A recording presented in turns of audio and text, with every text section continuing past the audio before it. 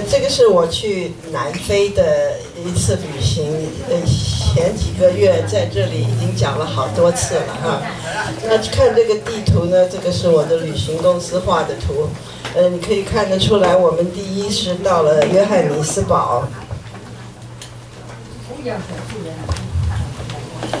到约翰尼斯堡呢，没有看到风景，是看一些他们以前。政治上的地点跟博物馆，呃，看了好几个博物馆，就是他们在白人压迫黑人的时代，是一九四八年到一九九四年，在这段时间里面呢，我下次我们去，Cape Town，Cape Town 没有声音了没有声音，是没有电的吗？不知道，还在闪，不不，有了，对啊。呃，下次我想今天讲不到，可是下一次最后一次讲南非的时候，我们要详详细细的讲他这个，呃，种族歧视的时代，他们是怎么样来压迫黑人，因为他是少数白人压迫非常多的黑人，他用什么样的技巧来把他们控制住？呃，原则上就是他定一些法律，使得这些。呃，黑人、黑人或者说是不是白人的人，都变成不是他们的公民，都没有投票权。那他怎么说呢？他就在全国各地分了好几个小区域，叫做 homeland。那每一个黑人呢，他就看你是从哪里来的，虽然你已经几百年没有住在那个地方，他就把你规定成那个地方的人。所以你现在呢？还是要在这个靠近大城市来做这些呃做工，因为他没有工人是不行的嘛哈，各种的工都要人做。可是你呢，就是属于祖籍在那里，所以你就属于那一个独立国，所以你没有投票权。你说这个是不是非常可怕的一件事？嗯，就是他公然用一个立法的手续。使得全国的有色人种没有投票权，所以你现在说，哦，法律这样说，那有什么办法？这些人他不合法，他就应该被抓起来关监牢。可是几乎世界上所有的法律都是有钱有势的人来定的，所以到底法律好不好呢？如果大家都觉得法律好，都守规矩，那是很理想的世界。可是像南非这样的国家，就是少数。心心不好的人，他使得大部分的人全部变成不是公民，没有投票权，而他们住的地方非常脏乱拥挤，而且没有什么卫生啊、交通各种设备都非常缺乏，这他就可以这样子来虐待这些同胞，就是主要是因为这些白人他认为黑人不是他的同胞。他认为那种是跟猿猴类差不多一样的东西，所以现在我们不讲这个哈，因为我们到了 Cape Town，我们要去参观那个城里各个的小镇，每一个镇是指明某一种的人可以住的地方。那我们在约翰尼斯堡看的呢，就是呃，在这个时候，这是四十年左右，他们怎么样压迫这些呃。有色人种哈，所以没有看什么风景。然后我们去看的是这个 Kruger National Park，就是每天坐在一个吉普车里去看动物。那个 National Park 的呃，就是国家公园的范围呢，比 New Jersey 还要大。所以你就每天去看大象啊、狮子啊，什么什么什么都看了，除了老虎，因为非洲没有老虎哈。OK，然后我们就经过这个国家，它是台湾呃很很少世界上很少有大使馆的一个国家啊。呃，这南非跟这个史瓦济兰呢，都是世界上得艾滋病是领领先的，大概有百分之二十九的人都得艾滋病，所以他们是前途非常可忧虑的哈。然后我们就过来看了一些其他的小镇，这些小镇呢都有他们的特色，呃，可是就没有这个 Cape Town 这么精彩。我们现在就到了 Cape Town 哈，它不只是一个南非的一个小镇而已，它的历史、它的地理都非常的值得去看。所以如果你要去南非，只要看一个地方的话，就最好是去 Cape Town 哈。这 Cape Town 我们叫做呃开普敦啊。所谓开普敦呢，就是 Cape 哈。这个 Cape 呢，就是这个呃陆地呢的一个尖尖伸到海里去的，就叫做 Cape。那这个地方呢，就有一个尖尖的呃半岛，这个半岛的尖上呢，就叫做好望角。大家都听过好望角哈。你一辈子去好望角照一张照片也是很值得、值得留念的哈。这都是我们读了好久好久的书读到的东西，可是真的是亲身经历就非常的感动哈。呃，南非是在南半球，所谓在南半球呢，就是它的季节跟我们正好相反。那我去的时候是十二月。大概十三号左右到到二十五号哈，大概不到十三，也反正是十二月初哈。然后我们到了那里呢，就过圣诞节。那那个圣诞节有什么特别呢？就是他，呃，他的圣诞老人都是穿游泳衣、踩滑水板，所以是很不同的情调哈。那刚才我们看那个地图呢，我们就是从整从最早的地方一直走走走走走好走到最后快要到了 Cape Town，这个就是我们的车子从山上下来进入 Cape Town 的情形。这个地方呢，呃，天气蛮暖的哈，它的那个呃东经北南纬南纬大概三十四度左右，呃，应该是比台湾要。凉快一点，呃，可是它非常干燥。它这个国家是很大了，可是 Cape Town 这边是非常干燥的，所以呃很舒服的夏天。那这个就是他们现在很有名的一种呃农业农产品，就是做酒哈。南非的酒在世界上很有名的，而且价钱很便宜。呃，我们到 supermarket 买一瓶一瓶酒，三块五块都就可以买到一瓶相当好的酒，所以它的打到世世界的市场上，呃，是有一席之地哈，所以到处都可以看到它的，呃，呃种。没电了？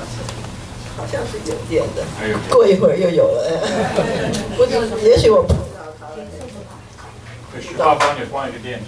我我我不知道是不是，其实好像是。有电的。应该可以去。啊，会闪闪。因为你看到这个山呢，都是。相当的干燥，啊，这种叫做 Karoo，他们的话叫做 Karoo，就是。干燥半沙漠的地方上长一点点的植物。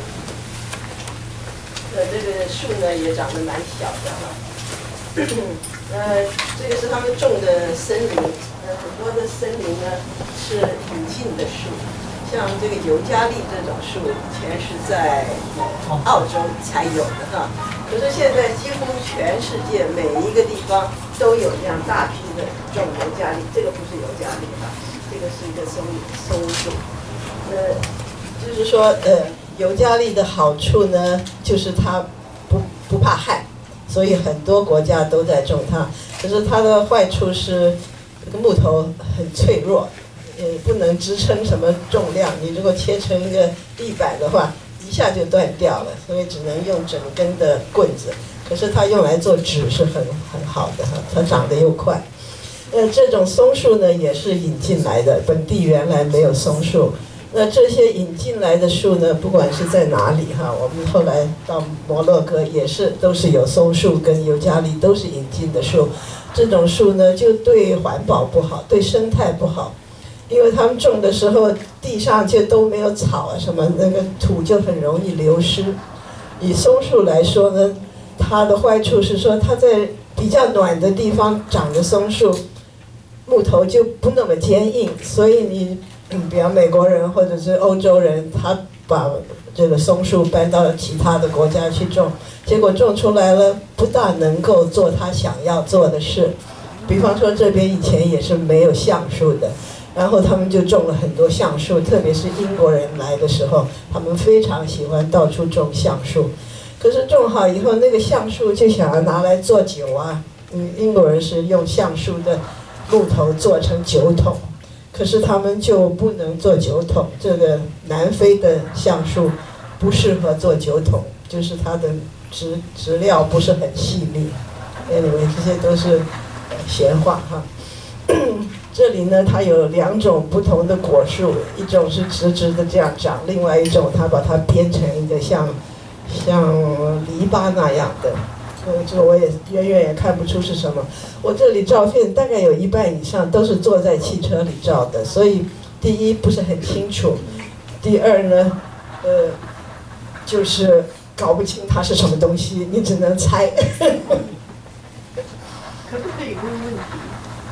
当然刚可以刚刚刚造的开始的时候，那个是葡萄吗？葡萄树，那它它的葡萄怎么样呢？在那里，它呃做酒。葡萄大部分是做酒，哎，全世界对，我知道，可是它的它的所以那味道天气对对，哎，就是天气它是蛮合适的，哎。那我们最后一天呢，我们还去参观一个做酒厂，当然他希望我们买酒啦，可是他就给我们试喝酒，喝了好多种酒。呃，我是完全外行，所以就跟着喝就是了。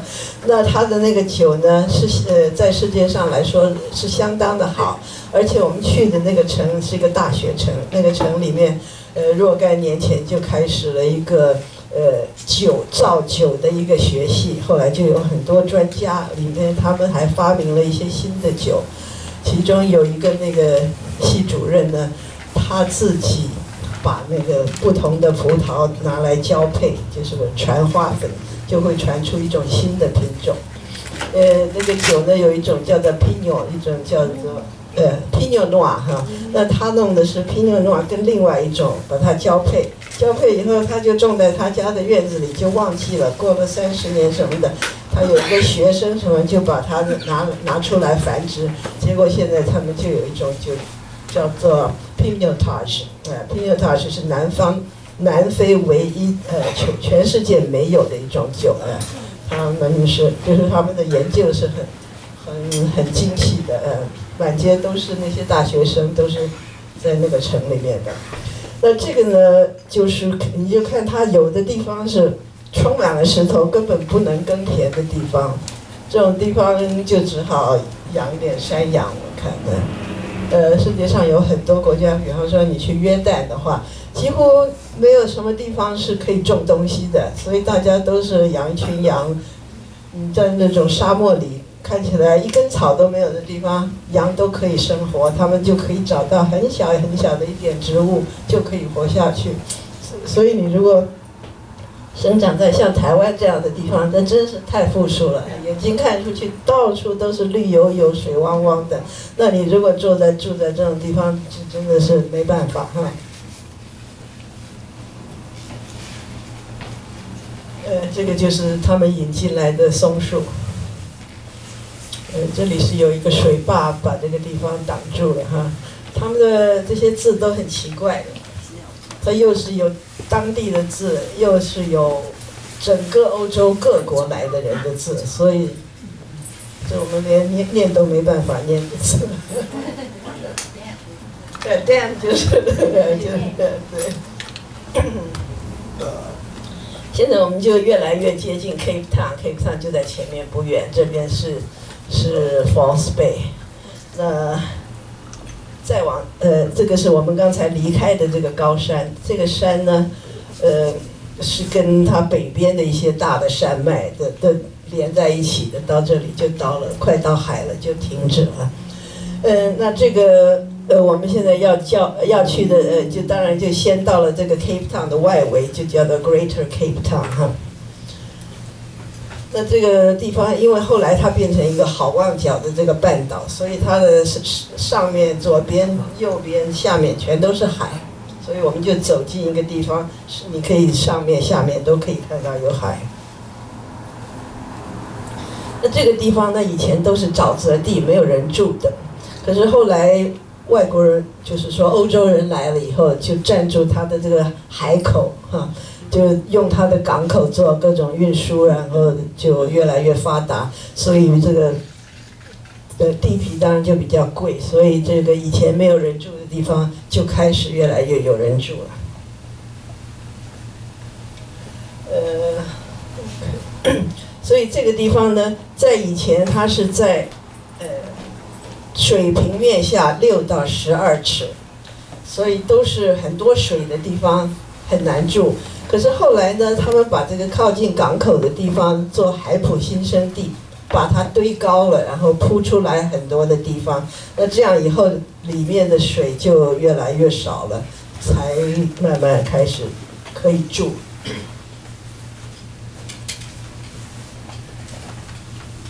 这有个火车哈，它的火车是，呃，全国是还蛮有一些火车呃铁道的。那英国是世界上第一个有火车的人，就是这个一个苏格兰人叫做 Stevens，他发明了蒸汽机以后，英国就是第一个坐火车的人。所以在世界上说来，有火车的国家，英国是第一。可是，在他控制下的也都是相当的早就有铁路，像印度、爱尔兰跟南非这三个国家都是很大的国家，而原来都是属于英国的。那他们的这个轨道呢，跟世界其他的国家不一样，这个宽度不一样。所以，比方说爱尔兰人想要呃修理他的一些铁路，他就要到印度去买他的材料。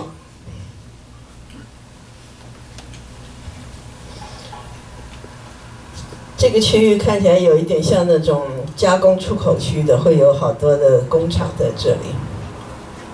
呃，这种松树叫做 umbrella pine，我第一次看到是在罗马看到的，后来到了西班牙也有这样的松树，那现在南非也有。那我最近去法国南边也是有这种松树，我们这边没有的。不过他们就是稍微把它修整一下，就看起来像一一把伞。这个地方呢是这个海海边上有几个这个海盗船，因为有一个电视节目在这里拍拍电视，所以就有这样两个海盗船在那里。这就是最呃标准典型的南非的有色人种住的地方。这种地方呢，他们的政府呢先把一块地弄平了，然后插一些呃呃。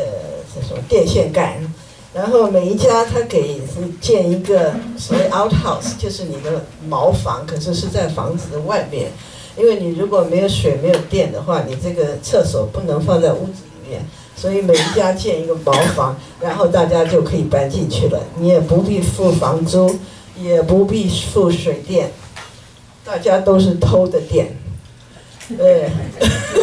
也，如果电力公司来给你装一个水表的话，呃，电表哈，他就会问你说，你要那个走得快的电表，还是走得慢的电表？那你当然是要一个走得慢的，所以你就可以付很少的电费。OK，这是大家都知道的事情。那这个材料当然都很简单了，一些什么呃三甲板啦，或者是这种弯弯的这种做屋顶的这个板子就可以做。嗯。当然，生活情况是很差了。嗯，南非是世界上顶尖的哪一个排行第一呢？就是贫富的差距是世界第一名，这也是很惨的一件事哈。那自从这个白人不当政以后，他们的经济稍微往下落后，就往下，因为他们的贪污很厉害。嗯。有的人说这个 Mandela 是一个很伟大的一个人道主义，他做非非常伟大的事情。可是他是第一任总统，在他的任上呢，大家都认为他不大好的地方就是，以前他是为所有的人而奋斗，可是他当了总统以后，他的目标就是要让他自己的党能够下次当选，所以他做的事情不是呃一般人认为非常的。呃，理想的。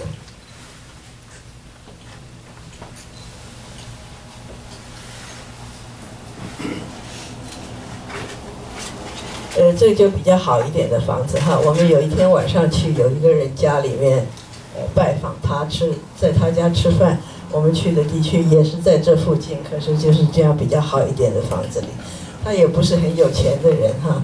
那个男的他自己开一个 van，他去帮那个幼稚园的小孩接送，来赚钱。他的太太呢，在一个 nursing home 帮人家煮饭。那，都是不是很赚钱的事，可是就可以呃有这样的生活就是了。那他是白人还是黑人？呃，都不是白人，呃，可是你要说是哪国人也很难讲。我觉得他看起来有一点印度、巴基斯坦，可是又有一点，呃，阿拉伯人还是什么，都是混种的人啊。所有这些人都不叫做黑人，他们叫做 colors。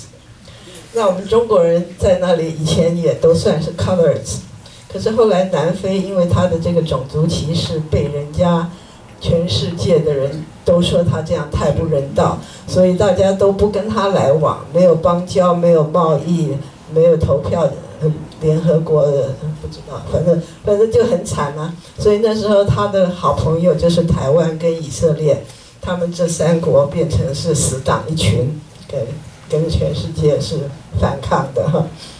那这样以后，他就把中国人列成白人了，以前是列作有色人种。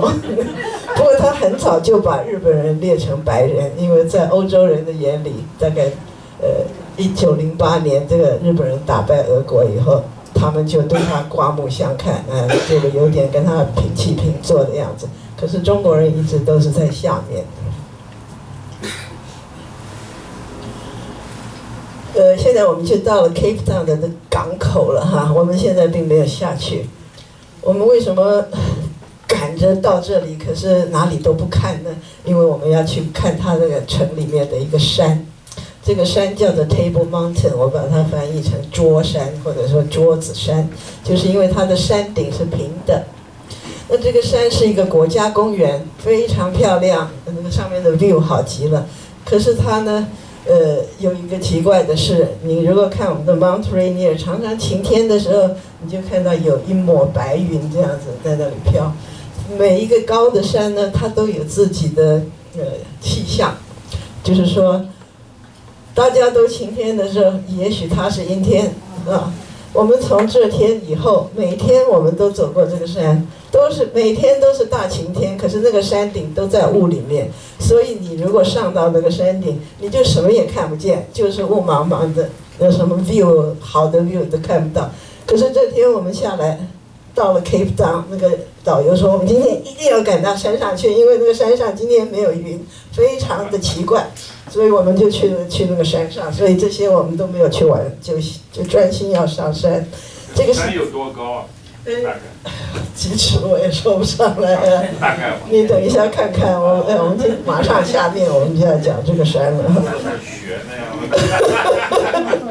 这个其实比这个 Mount Rainier 是差很多了，没没有那么高，可是它真的是很奇妙的，就是我从来没有看过一个很大的城的中央就有这么一个大山，这是一件很奇怪的事。你就看左看右看，就觉得它不该在这里。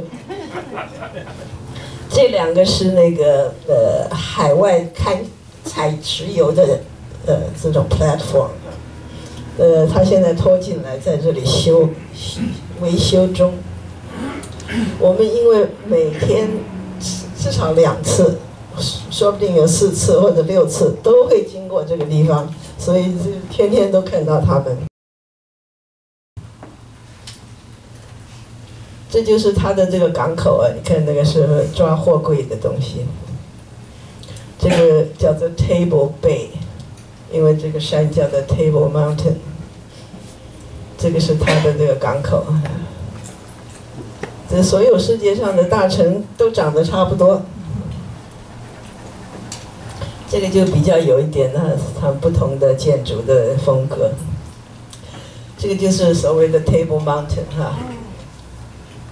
所以它并不是非常高，可是你很难得就看到从头到尾一片云都没有。后来我们每次看都是很多很多云，那你从呃也没有开多久就到半山上，然后就可以坐一个缆车上去。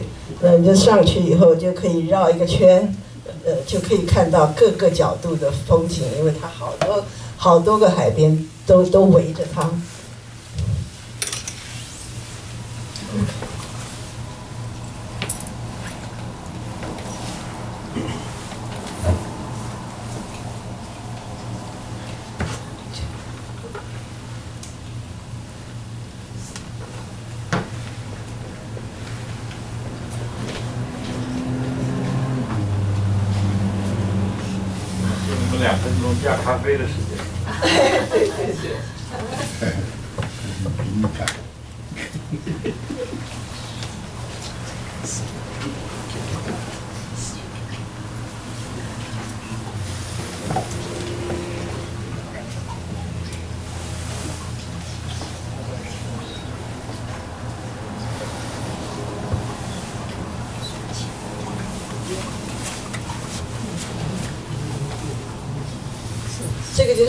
这次去旅行，一共二十天，经过这么多地方，最后就到了 Cape Town。我们大概在那里住了四五天了，可能是是住了四个晚上。呃，这个是比较放大的一个地图呢，你就可以看到它这里确实有一个半岛，在比较大的地图上你就看不见这里有一个尖尖哈。那所以在这个地图上呢，你就可以看见我们这个叫做 Cape Town。我们刚刚从山上下来，下来经过这些以前是沼泽的地方，可是现在等于是郊区哈。那到了这里以后，我们就要上这个山，这个山就在它的城港港的上面，呃，所以这个叫做 Table Bay 哈。那这个山呢，我们从这边上上去，上去以后。从这边下来，下来以后就要回到我们的旅馆，我们的旅馆就在这里。可是中间是被山挡住的，所以要这样绕一圈才能下来。那这以后呢，我们每次要去城里，要去港口，去 downtown，或者去参观这些 townships，就是这些呃让黑人住的地方，或者去这这个人家里吃饭，或者要去看这个呃种葡萄做酒的地方。呃，或者要去这个植物园，这些全都是要从这里出来，然后才能去的。所以每天都会经过当趟。呃，其中有一天呢，我们就去好望角，那就是在这里了哈。这个地方呢，照理说是应该可以从这里下来了，结果这个中间的路在修，挡住了不能走，所以我们连那一天也是经过这里下来的。这个也是很大的一个国家公园，它也属于 Table Mountain 的呃这个系统，所以你去看它的那些呃 Cape of Good Hope 还是 part of the Table Mountain National Park。所以我们今天现在呢就去这个呃 Table Mountain 哈，其实就是说坐一个缆车上去，呃四面走一圈然后再下来，可是主要就是说你可以看到很多的。呃哟好的不得了哈。呃，这个 Cape Town 呢是仅次于约翰尼斯堡的一个南非最第二大的城。呃，这个南非跟其他国家很不一样的，就是它的首都有三个，它有行政首都、立法首都跟司法首都。所以呢，这个约翰尼斯堡大概是行政首都吧，那 Pretoria 是。司法首都，而 Cape Town 是这个立法首都，所以它的议会是在这个地方开会。呃，我们可以看到这个议会的这个建筑，还是以前英国人盖的一个建筑，所以它算它的立法的首都。那它的这个港口当然是最有名的，而且它的很漂亮的这个 Table Mountain 跟 Cape Point 是有名的风景区。呃，这个地方呢，你要讲整个非洲呢，他们当然有他们悠久的历史。最早的人类都是听听说这个人叫做 Lucy，当然不是他自己不晓得叫 Lucy，就是挖出来的这个骨考古的骨头里面，证明说这一个人是所有人类的祖先。我也不懂是怎么证明的，是在是非洲的啊。所以这个人呢，他到了呃。是他到他的后代到了美洲、亚洲、欧洲各个地方的人都算是从非洲出来的，所以他的历史算是最悠久的。可是你现在要讲到人文历史还是什么的，那欧洲人来以前，这个非洲等于是不存在的，在他们的呃知知识里面，他们从来不不管着非洲有人的。可是后来就是因为，嗯，这个回教人占住了这个以色列啊、土土耳其啊什么等等中东的这些地方，那整个欧洲的人就买不到胡椒了，所以他们就要想办法到印度来。所以呢，第一个就是葡萄牙人，他就从这个这个人叫做 Bartholomew Dias，OK，我们叫做迪亚士哈。迪亚士有一有一次呢，我也不记得多少年了，因为哥伦布是一四九二，所以他是大概一四八五年左右，或者我也搞不清。Anyway，他就从葡萄牙沿着非洲的西边。到达了好望角，这是第一个欧洲人到了好望角。在欧洲人的心里面，这个非洲以前不存在的，现在就开始在他们的意识里面存在了。然后过了一阵子，又是一个葡萄牙人，他叫做达伽马，OK，Vasco da Gama，他就从这个好望角继续前进，就到了印度。这个就把整个的亚洲。给欧洲人打开了，你们现在要卖中国的瓷器还是丝器，都可以经过好望角，所以这个在欧洲的历史上是一件非常重要的事。当然后来过了几年，这个哥哥伦布往西边去发现了美洲，那也是一件非常大的事。可是在这个欧洲跟非洲共同的历史上，这个呃 Cape Town 的好望角是非常重要的一件事哈。呃，现在我们就又把这个地图放大，你就看到这个 Table Mountain 就坐在它的港口的背后。呃，这个地方有一个小山啊，这个山有一个小尖尖，这个叫做狮子头，呃，就是 Lion's Head。那它的后面呢，这个山脉比比这个尖尖要矮一点的这一条山呢，叫做 Signal Hill。呃，现在我们就要到了这个 Table Mountain，就可以看到这些东西。还有一个注意的，你可以看到的东西呢，就是从这个地方，你如果做一个 ferry 的话，你就可以到这个岛上去。这个岛上有什么好看呢？我结果没有去成哈，因为时间啊什么的关系，这都没有去成，它没有排在我们的行程里。那有一些同行的人，他们在我们结束以后，他们留在那里就可以去。那个岛叫做 Robben Island，有没有人知道它为什么会这么有名呢？它就是因为 Mandela 他在监牢里坐了二十七年，可是在其中就有十九年是住在 Robben Island，所以那以前是呃原来是一个采石矿的地方，后来就变成一个监牢了哈。很多的大城附近都把他的监牢坐在一个小岛上，这样比较好管哈。比方说，San Francisco 就有 Alcatraz，就在你就在当当趟的那个港口就可以看到的一个呀。呃，那现在呢，我们就讲这个呃 Table Mountain。回到刚才那个大一点那个地图，那它那个 Island 是在。北北边就是你你看得到的那个岛，就在那里。哦，就这个。呃，去以前呢，就查了一下要怎么样去这个 Robben Island，就是你在这个港口就可以搭一个 ferry。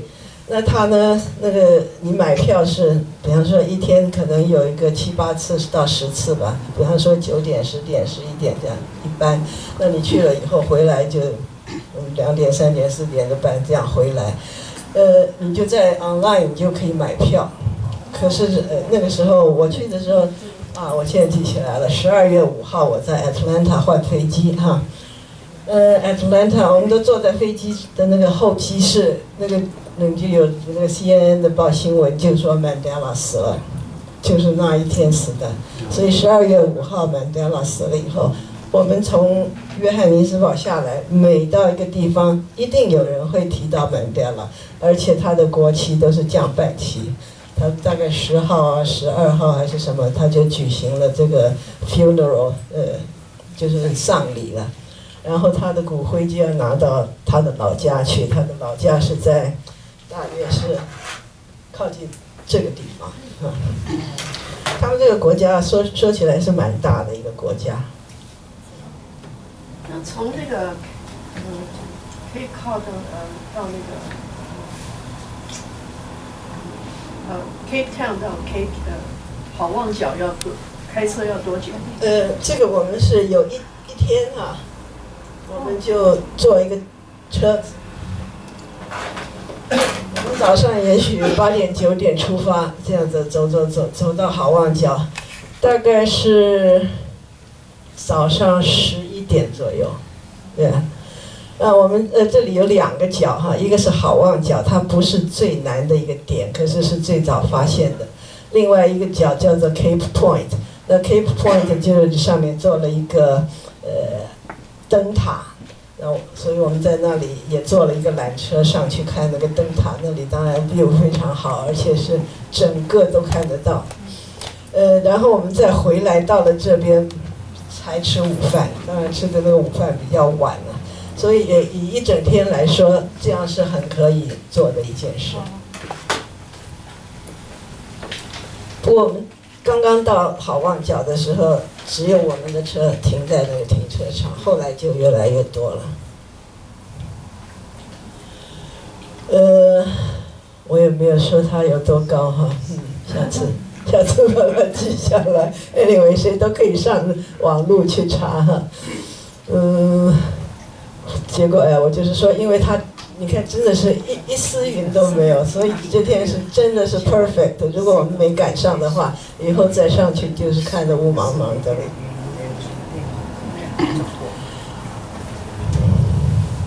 现在我们就是要上这个山，所以这个路是这样 zigzag 的哈。那这个对面的这个小山就叫做 Lions Head，然后我们到。回去住在旅馆的时候，我打开我的窗户就看见 Lions Head，所以我是在山的另外一边，靠近海的那边。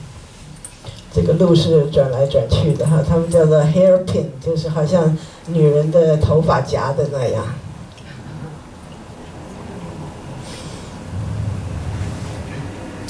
那这个城城市中心就像一个呃一个碗一样，所以它叫做呃 the city ball。大概 population 是多少？呃，专门问这些，我我想我大概没写下来，所以我也说不出来呀。可是它是全国第二多的人口的地方，而且它的也是，全就是全国的历史最，欧洲历史最悠久的，因为第一个来的人就就是在那里下下路的。呃，这个简单的讲，它的历史就是两个葡萄牙人来了以后，呃，这个航线就开通了，大家都可以经过这里。即使在今天，还是有很多的船经过南非的好望角绕过去，因为要过苏伊士运河很贵很贵，呃，到底多贵我不知道。可是巴拿马运河，他就说一个。呃，比方说 Viking 或者 Norwegian 的这种 cruise ship 过去一次要一百万美金。呃，它大概一九二零年左右建好的时候，大概到过了几年，大概二七年左右，有一个人游泳从这头游到那头巴拿马运河，他就只花了一块钱还是什么，就让他过去了。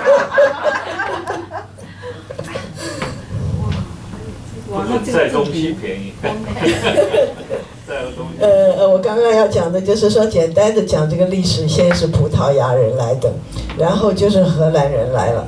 荷兰人来了以后，他就不是说只是路过这里，或者是说安排一些呃蔬菜可以上船等等，他就有人来这里移民。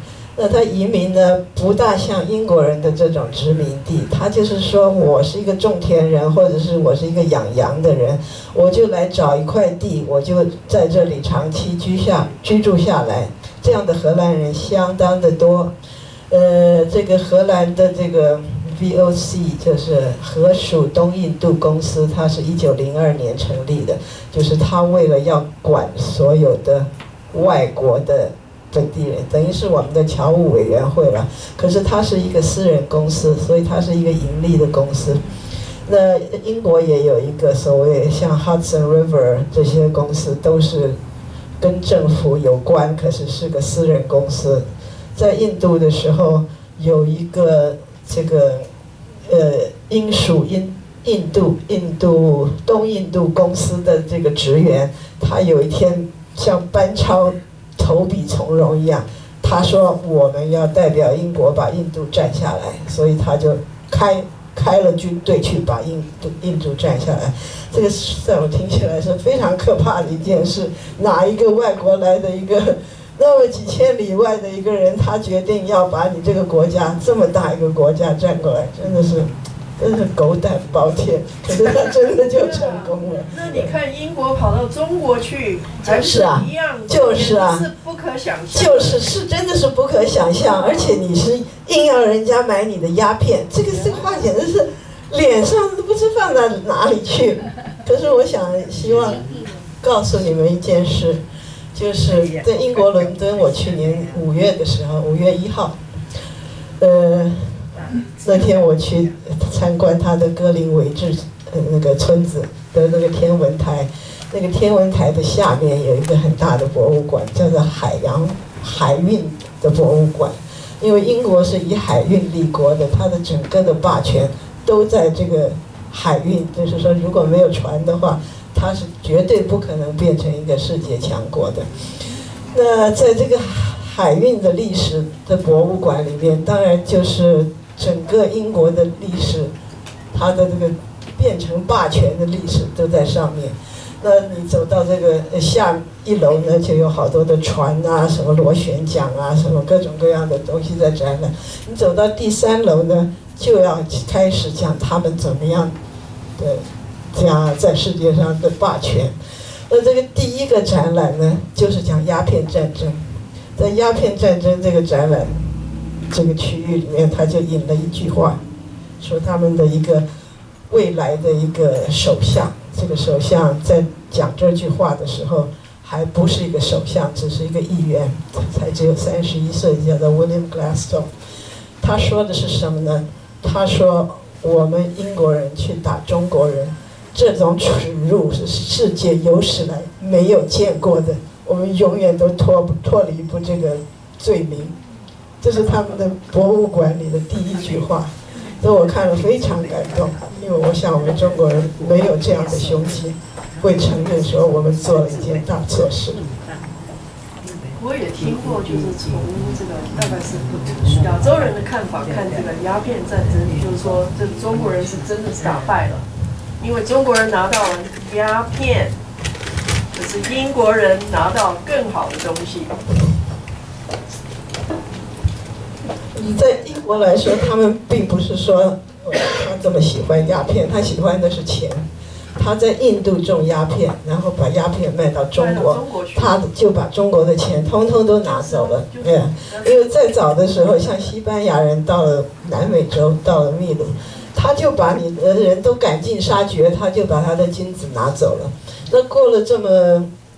两百年左右吧，就英国人就不能这样了，特别是碰到中国这么大的国，所以他就是说要让你买他的鸦片，他就可以赚钱，他的所有的财富就在于这里。这个在西方的道德来说，钱就是一切。我如果能够赚到钱，我的一生就满足了，而大家都会看得起我。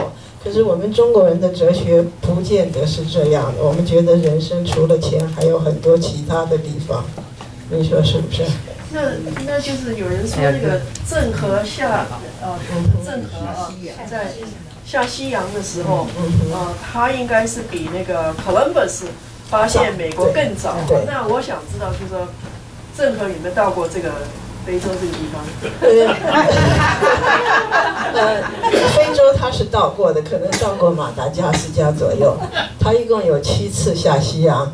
那有一本书叫做《一四二一一四二一》，呃，这个人叫做呃 Stephen Mackenzie，呃，no 不是 Mackenzie，Mackenzie 是 manzie 啊，这个人叫做 manzie 他是一个英国的潜水艇海军潜水的一个。船潜水艇的船长啊，Captain，他就做了很多的研究。当然不是说全世界的人都很赞成，可是他因为有这些航海的知识，他就来说看这个呃那个时候的一些历史的资料什么的。他认为呃他很夸张的，因为世界上没有人像他这样讲。他认为南极洲、北美洲什么全部都是郑和发明的发现的。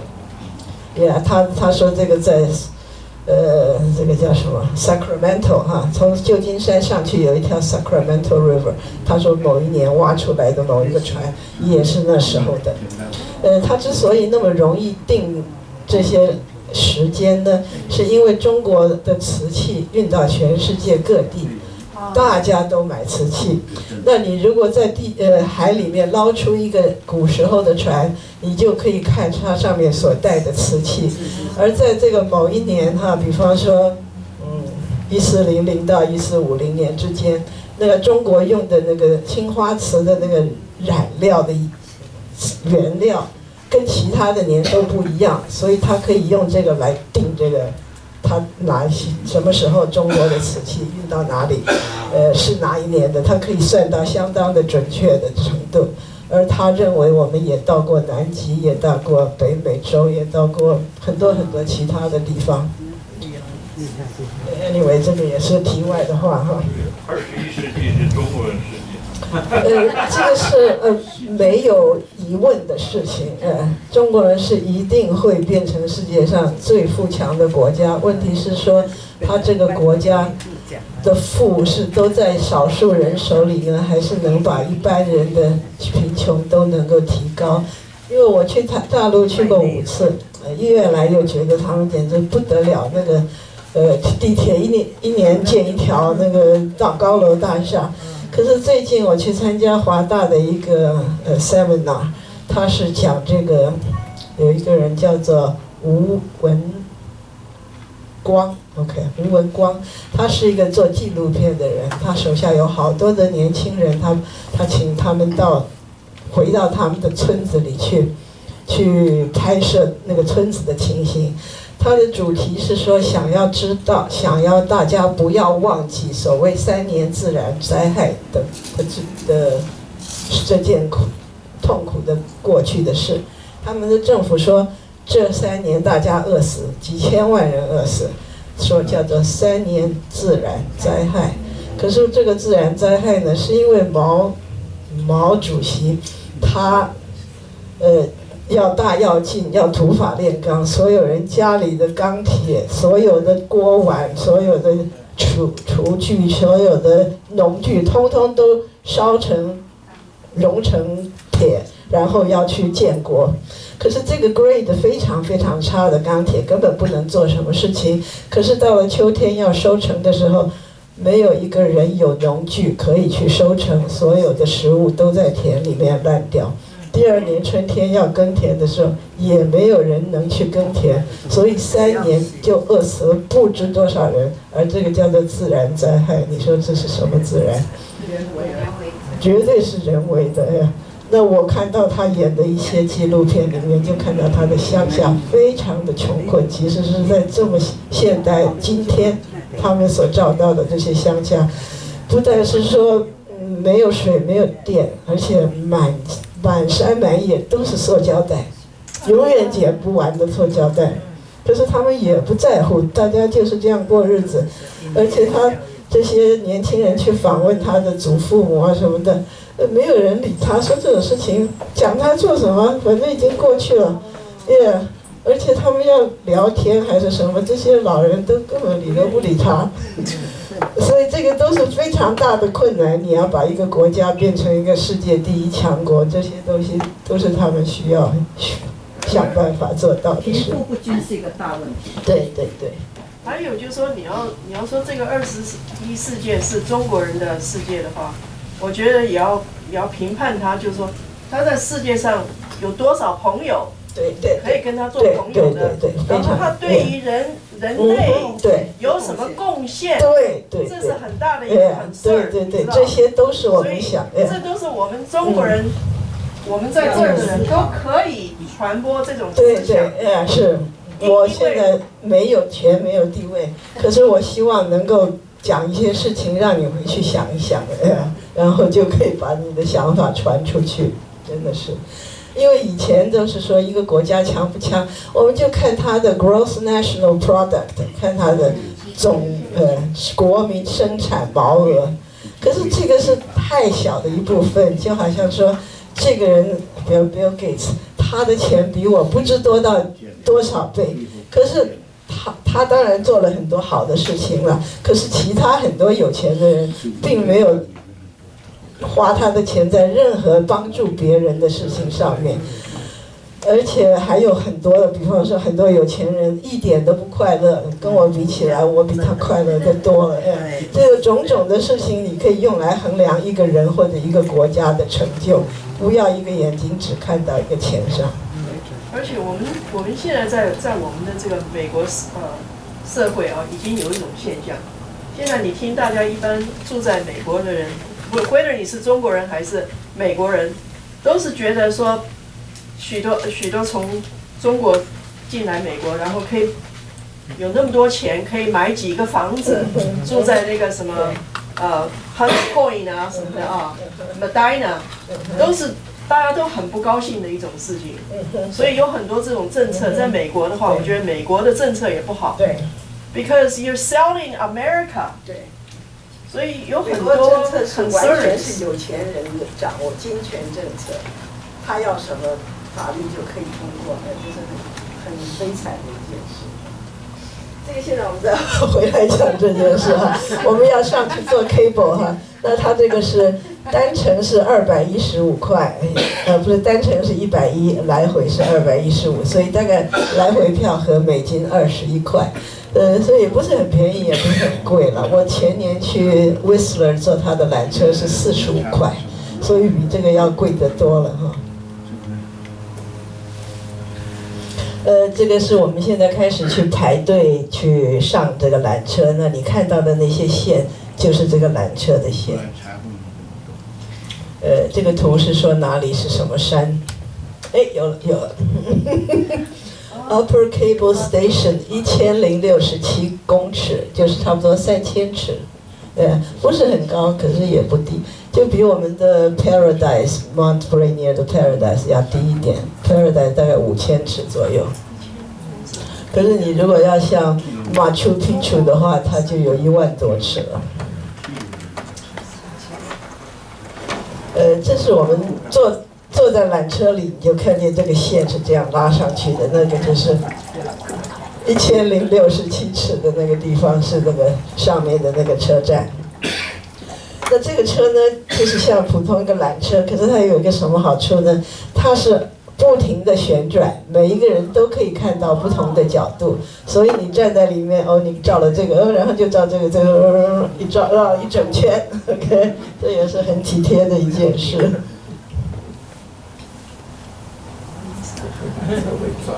这个是低头看我们刚刚出发的地方。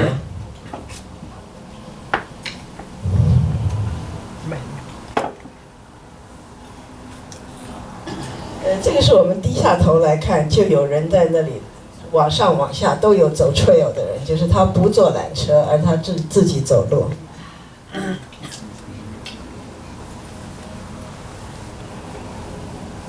表示太贵了。也不是，也不是，就是为了运动，你什么苦都可以吃。我常常看有人上班的人开着汽车开到哪里下来，然后再去走路。呃，其实你就从家里走来就行了。天冷啊。哎，对。呀，就有人跑到那个 mall 里面，冬天去走来走去，就免得被雨淋。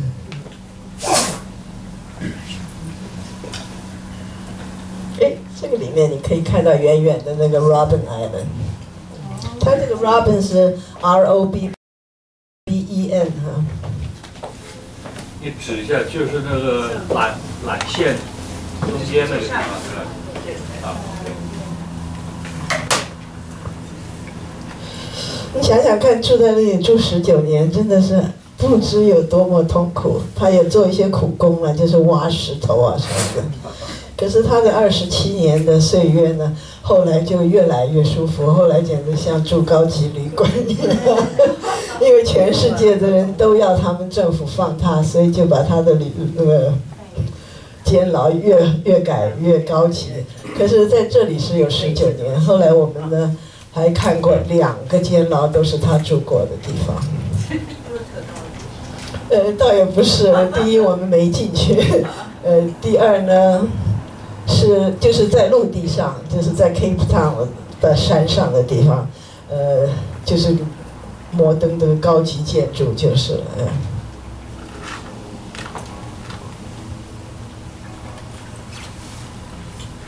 他对那个呃南非的主要贡献，他是呃结束他的种族隔离的法律。那在开始的时候呢，他也跟很多的年轻人一样，就是觉得这个很不公平，对他们不好，而且很多出来说话的人都被关抓起来关起来，而且甚至还就自神秘的死掉了什么的。这样跟他一起的人有好多个都死掉了，他算是运气很好的。可所以在当时政府来说，他也算是一种恐怖分子或者是什么革命分子。那美国的立场呢，就是所有的政府都是他的朋友，所以所有反对政府的人都是他的敌人。所以曼德拉那个时候呢，他在做这些地下活动的时候，有一次呢，CIA 就告诉政府说他今天在哪里，结果他们就把他抓起来，是因为 CIA 给他的资料。可是当时全世界的人也不大了解这个事情到底有多么不好。那么这么多年呢，后来大家才越来越越觉得不对。那这个最开始呢，西方或者说美国有一些人呢，他们就说我们买股票一定要不买他的公司的，呃，那个是从哈佛大学新出来的，因为他们的这个。呃，他们学校的基金呢，很多很多钱在各地买各种股票，所以他们是领先说我们不买南非的股票。后来就在 UN 里面就有一些 sanction，就是说我们跟他不 trade，没有贸易来往，所以他的生活就越来越难。像现在的俄国呢，就有一点面临这个问题，因为他想要打这个乌克兰的事情，就很多国都跟他断绝这个贸易的来往。这个这个世界上，因为太繁繁忙的贸易，各国都买了很多世界各地的东西，要一刀两断也不不容易。可是如果全世界人都不跟你做贸易的话，这也是一个很困难的事情啊。后来呢，真的是就就变成没有办法了，就只好就算了。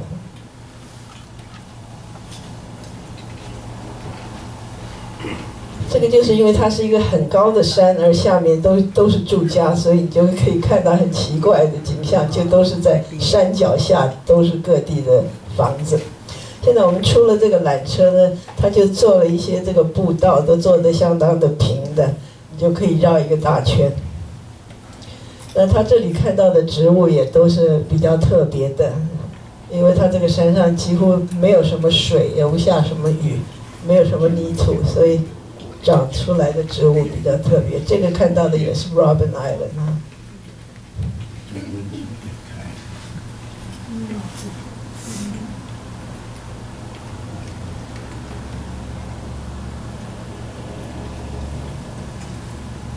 这个照片虽然很多，可是就随便看看就算了，也没有什么可解释的。他是说这个新的世界奇。奇观，自然的七大奇观，他们选了它。也不知道，现在在 Internet 上投票，一个人可以投几千次。像那个巴西的那个山上的那个耶稣像，也是投的，因为他大家没事干，特别中国人爱投票，Internet 上一直投票，所以这种选出来也不见得就是可靠。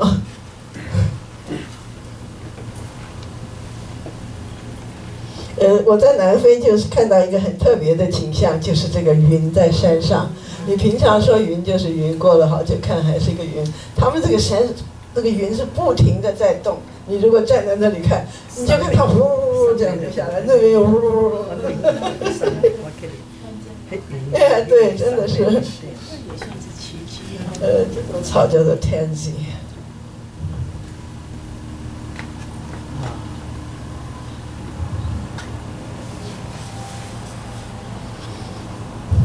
这是夏天嘛，大家都穿的很少，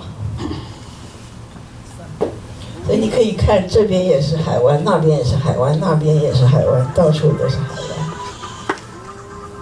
这我也不知是什么，从来没见过。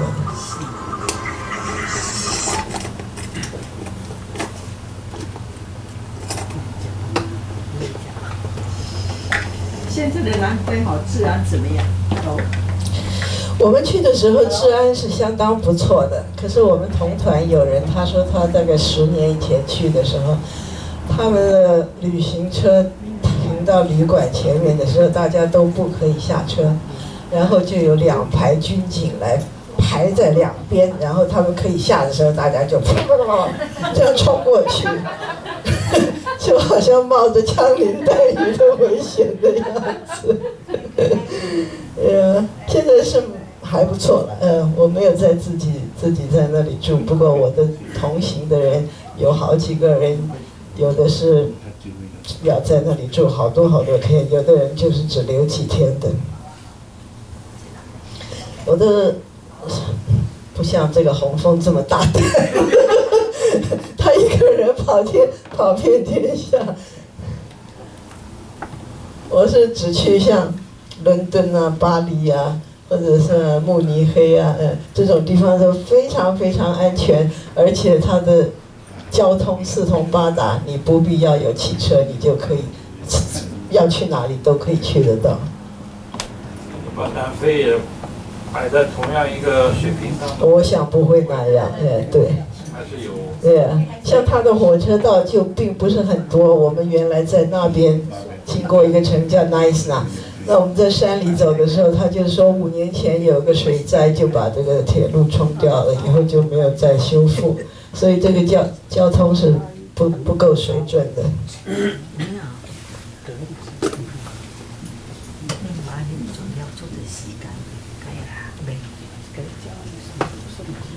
呃，这个张趟你看到，以后我们还可以天天都看到了。这个是港口哈，那这里有一个足球场。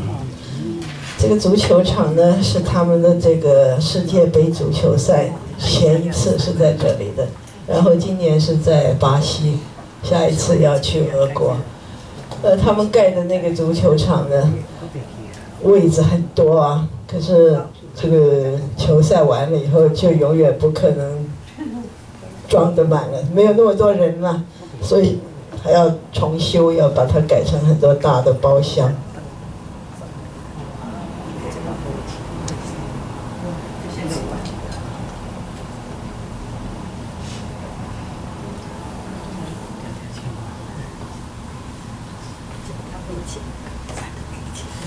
我想这个照的是 Robin Island 的靠那边的一个角落。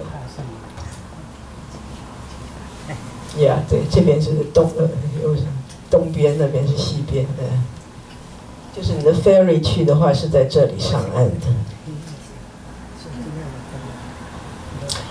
呃，这个像 heather 一类的东西，呃，在他们这个地方也很多，因为它很耐旱。呃，这是讲一个灯塔。这个是 Robin Island 哈，正正的看得见。这个是那个足球场，它叫做 Green Point Stadium。所谓 point 就是这个陆地上有一个尖出去的地方，小小的哈。那这条路我们沿着走的，就一个 point 接一个 point，每个都叫做什么 point 什么 point 什么 point。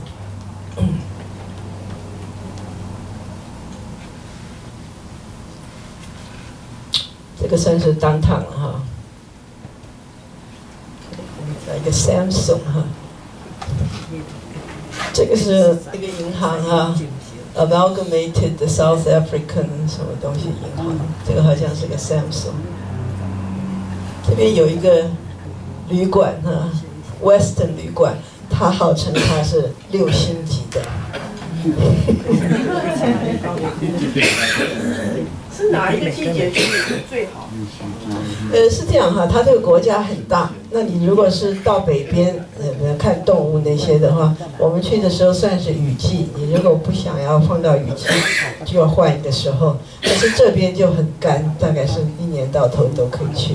那我想它冬天也不会太冷，而夏天也不会太热，因为它的风很大。你像南京啊、北京没什么风的话。一热就可以热到很很热。可是他们这个乡下满街都是烧车胎的地方，因为他根本不在乎这个烟出去到哪里，绝对不在他家。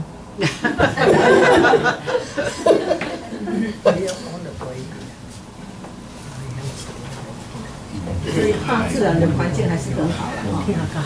呃，是是蛮好的哎，而且它的这个生态非常的复杂，所以它是各种气候都有。你可以看，好像说世界上一共有五种生态，它大概有四种。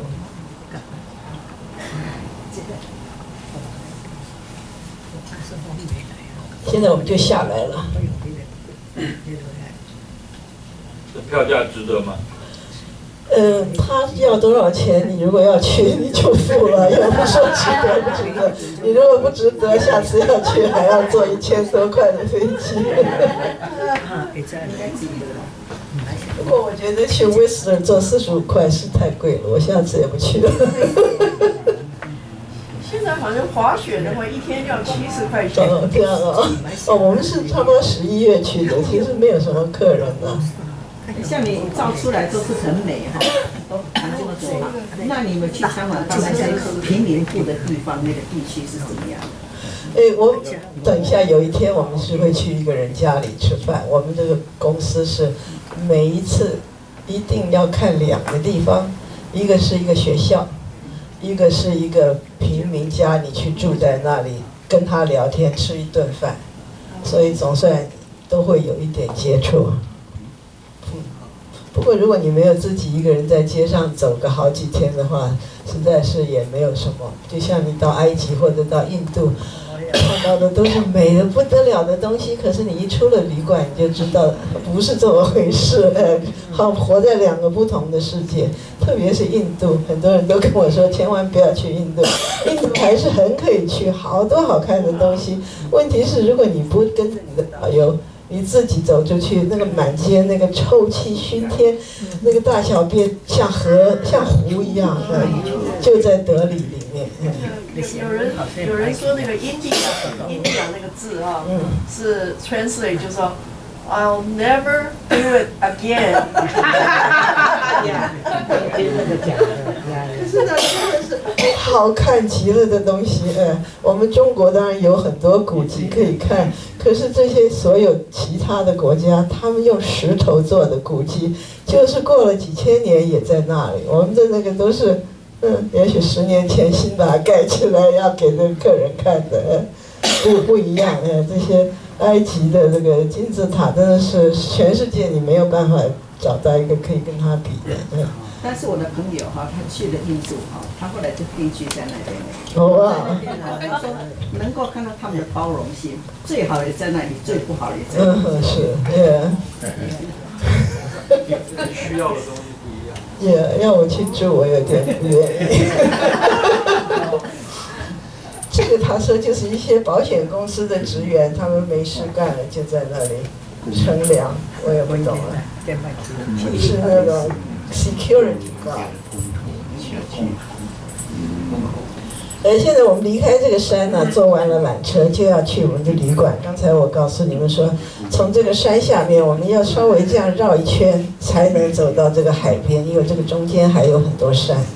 那我们绕圈的时候，就看到这一整排的山，因为它看起来就像，好像好多人在站岗的样子，所以他把它取名做 twelve 呃 twelve apostles，就是说，好像耶稣的十二门徒一样，一个接一个。像澳洲也有一个海边，它有好多石头，呃，就叫做 Twelve Apostles。这个 Twelve Apostles 也是很奇怪的一件事，因为他的门徒里有一个后来出卖了他，就是犹大。所以很多的教堂他都会说，我们这个教堂有十二个柱子，其中有一个是黑的，那个就代表犹大。可是，一般要说尊敬十二个门徒，还是都把它放在里面。当然，还有人说这个犹大跟耶稣两个人商量好了，要他来出卖他，这样他就可以，呃，英雄早死，永远被人家怀念。这个我现在当然也不知道是真的还是假的。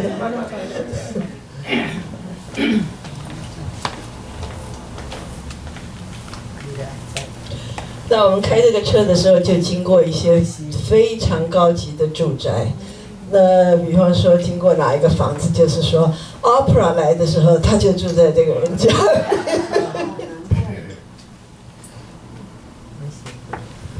那这个房子就贴在这个海边上，那当然就有一个提防啊。可是你站在那里就看那个浪，轰轰，不像我们这边的海边啊，你常常看那个海水这样慢慢上来下去，它那个都很大很大的浪，看起来怪可怕的。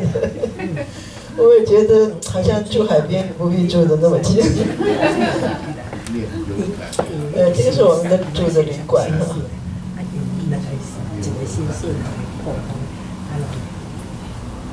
当然，大概是没有人在那个海里游泳的，因为那个浪太大，所以到处都有游泳池。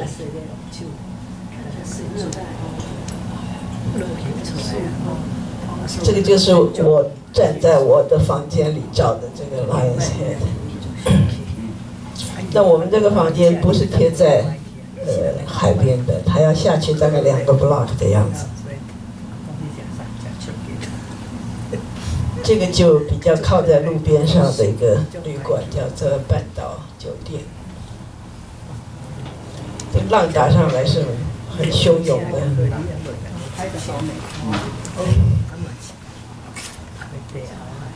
呀，这个很明显的，这边是西西边，那边是冬天，呃，东边东边。我们最后一天在呃 Ritz Carlton Carlton 的那个旅馆的最高的顶上，呃，吃饭。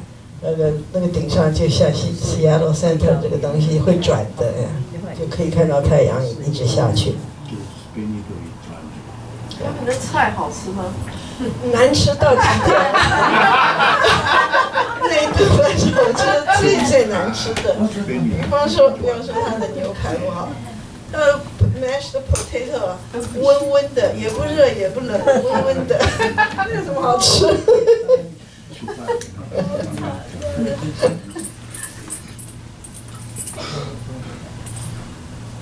可能你们花了钱少一点。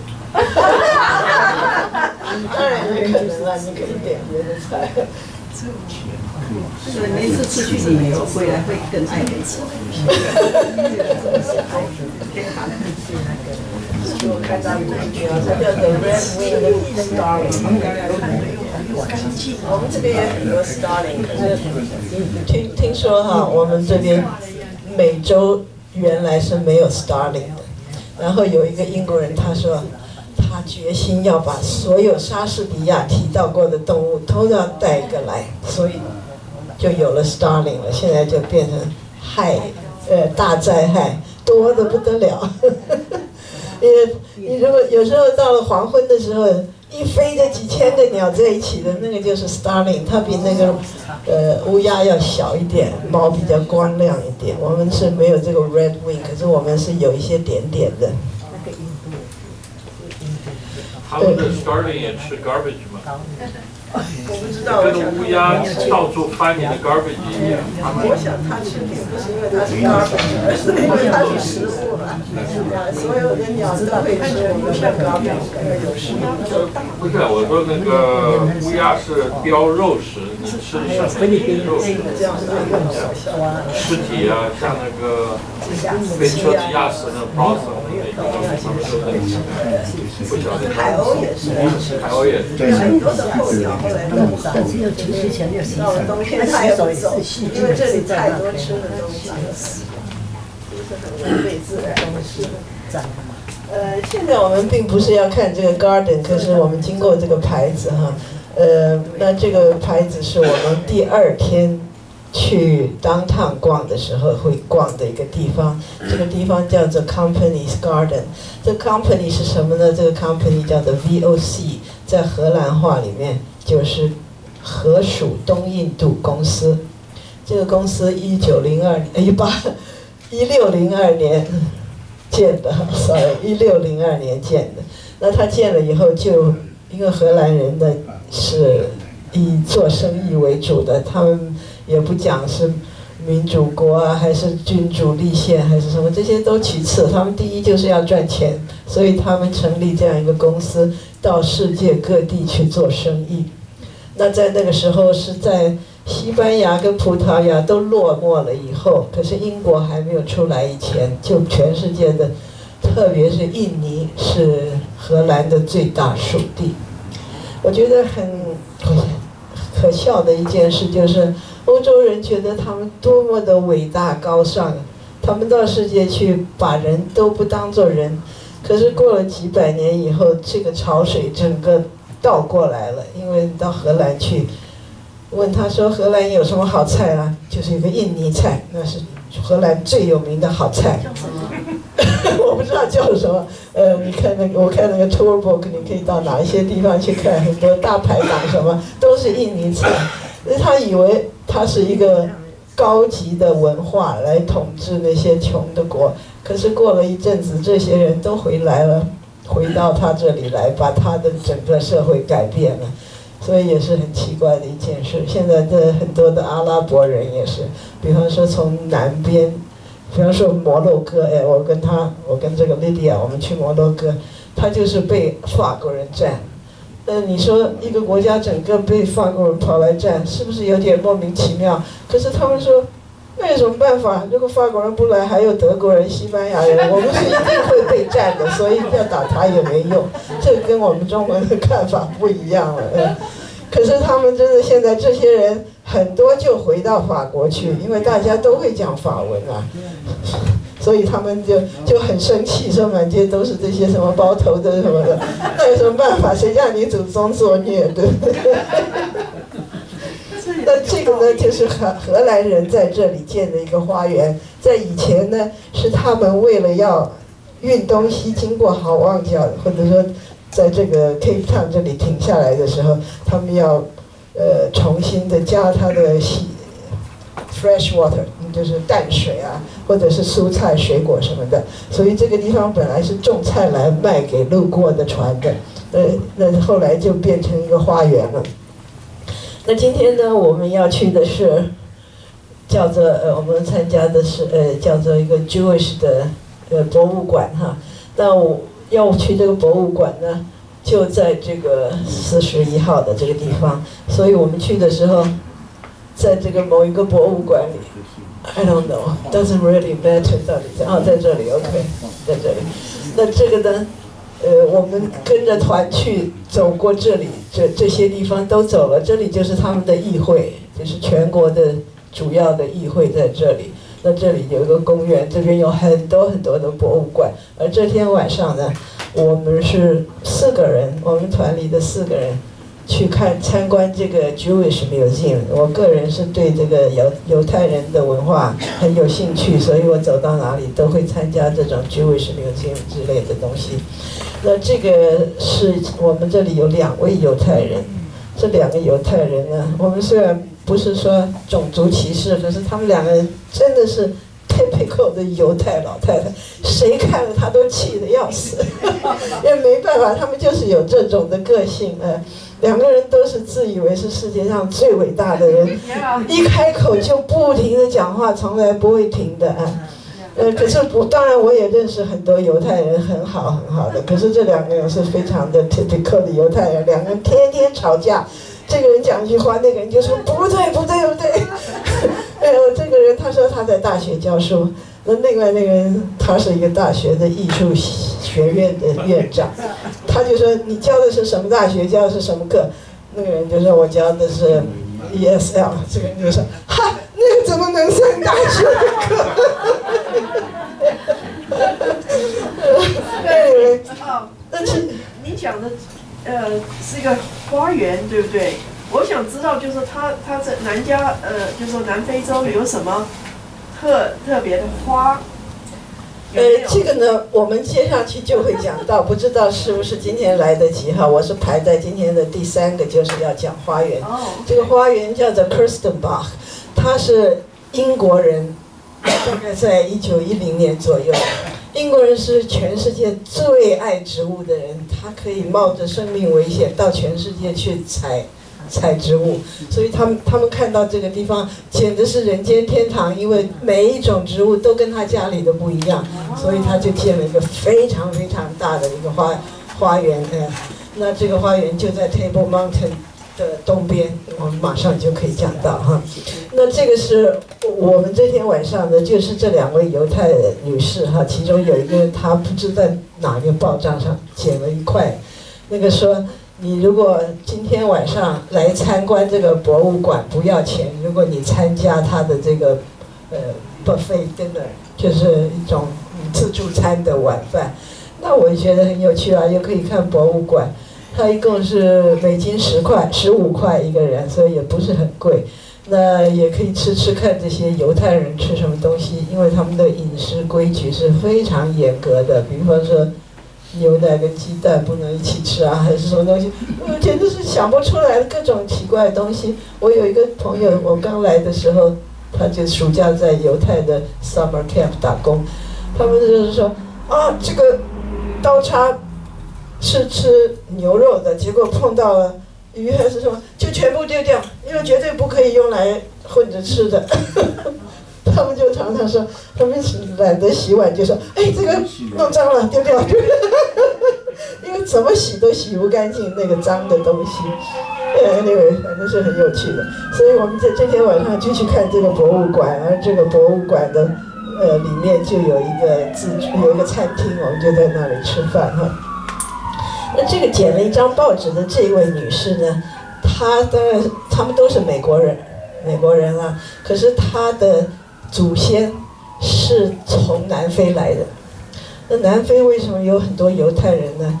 他的祖先其实是立立陶宛，俄国波罗的海边上的立陶宛。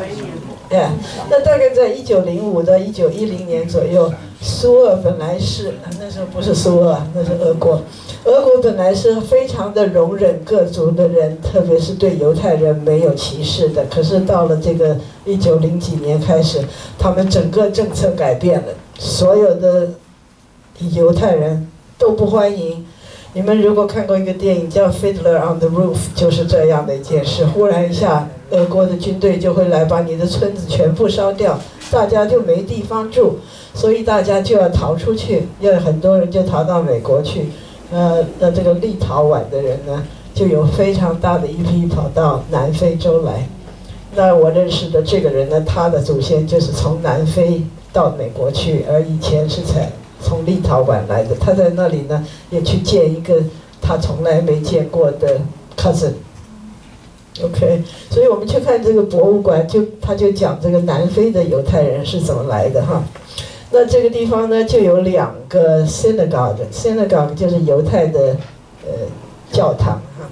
那它有两个呢，一个是它旧的教堂，后来就改成呃博物馆，那旁边就建了一个新的。是一个新的博物馆，所以你看到的这个就是一个博物馆，而这个是现在还在使用的一个呃 synagogue。那这个门票你要买的话是差不多四块钱，而不是这个门票。这个博物馆的门票应该四块钱，可是我们就敲敲门就进去了。其实我们也糊里糊涂的。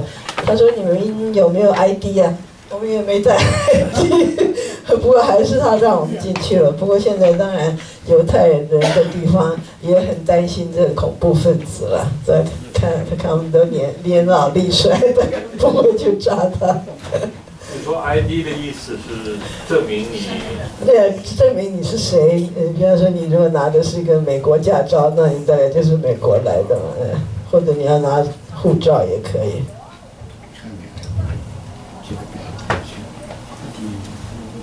呃，这个左边就是餐馆，而右边是他的博物馆。那你从这个小门看出去呢，我们就看到那天早上我们的导游带我们参观的东西，就是这条街。那这个呢，因为我把时间调过来了，所以我们今天先讲这个犹太博物馆。其实我们早上是去那边的，因为我一个 PowerPoint 大约是两百个照片。所以我要把它调来调去，让它两百个太多了就太急了，就容易 crash。我我最近跟着我姐姐去法国，就说他的照片都给我，我的照片都给他。那他的照片呢？他大概照了五六五六百张照片哈，那个 memory 只有几个 megabyte，它是一个很老的照相机。那我说我这个一共有二十四个 gigabyte。放不下他的电脑，所以只好给他少数的。所以我这个照片每次回家第一困难的事就是要 upload 我的照片，因为他每次一百张大概没问题，一百五十张有时候可以，有时候就会 freeze 就要整个再 reboot，非常的痛苦。我就想说不定我去买一个旧的照相机，比较简单一点。这个就是我们 museum 的正前方。刚才我们进的时候是后面院子那边的门进来的，现在我们就绕到正前方才好，按照这个博物馆的次序来看它的展览。这个东西你可能常常会看到，这个就是摩西的十诫。你属于一共有一共有十行，左边五行，右边五行，就是他的十诫，说你不可以杀人，不可以什么东西等等。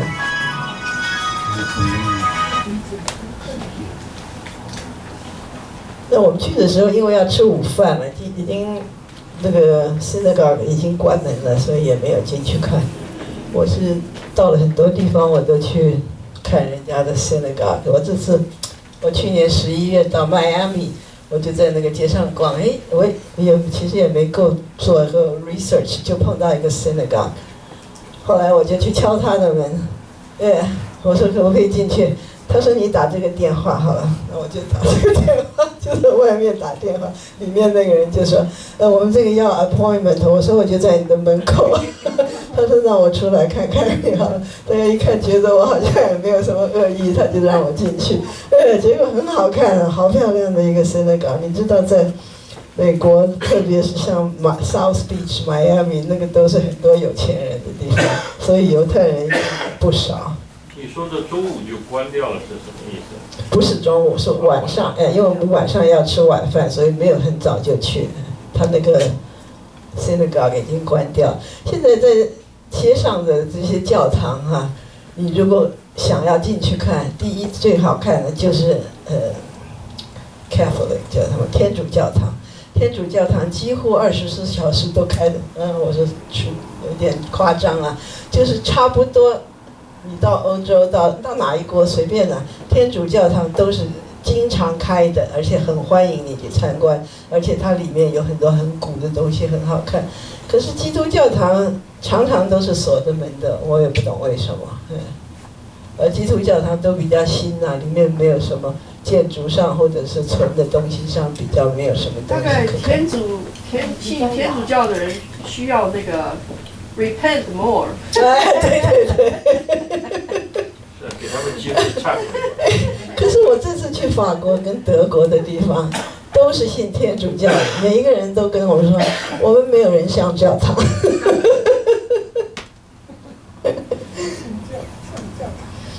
这个是讲这个这个教堂的历史，它是一八六五年呃建的。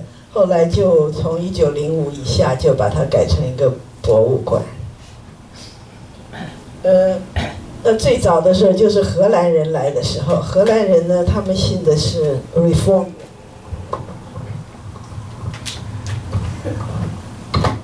那天去看 Rick Steve 演讲，他讲了四小时，啊，拼命喝水，一直。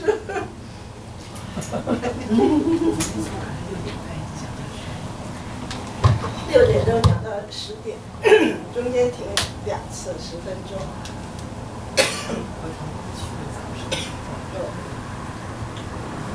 我这越喝越糟糕。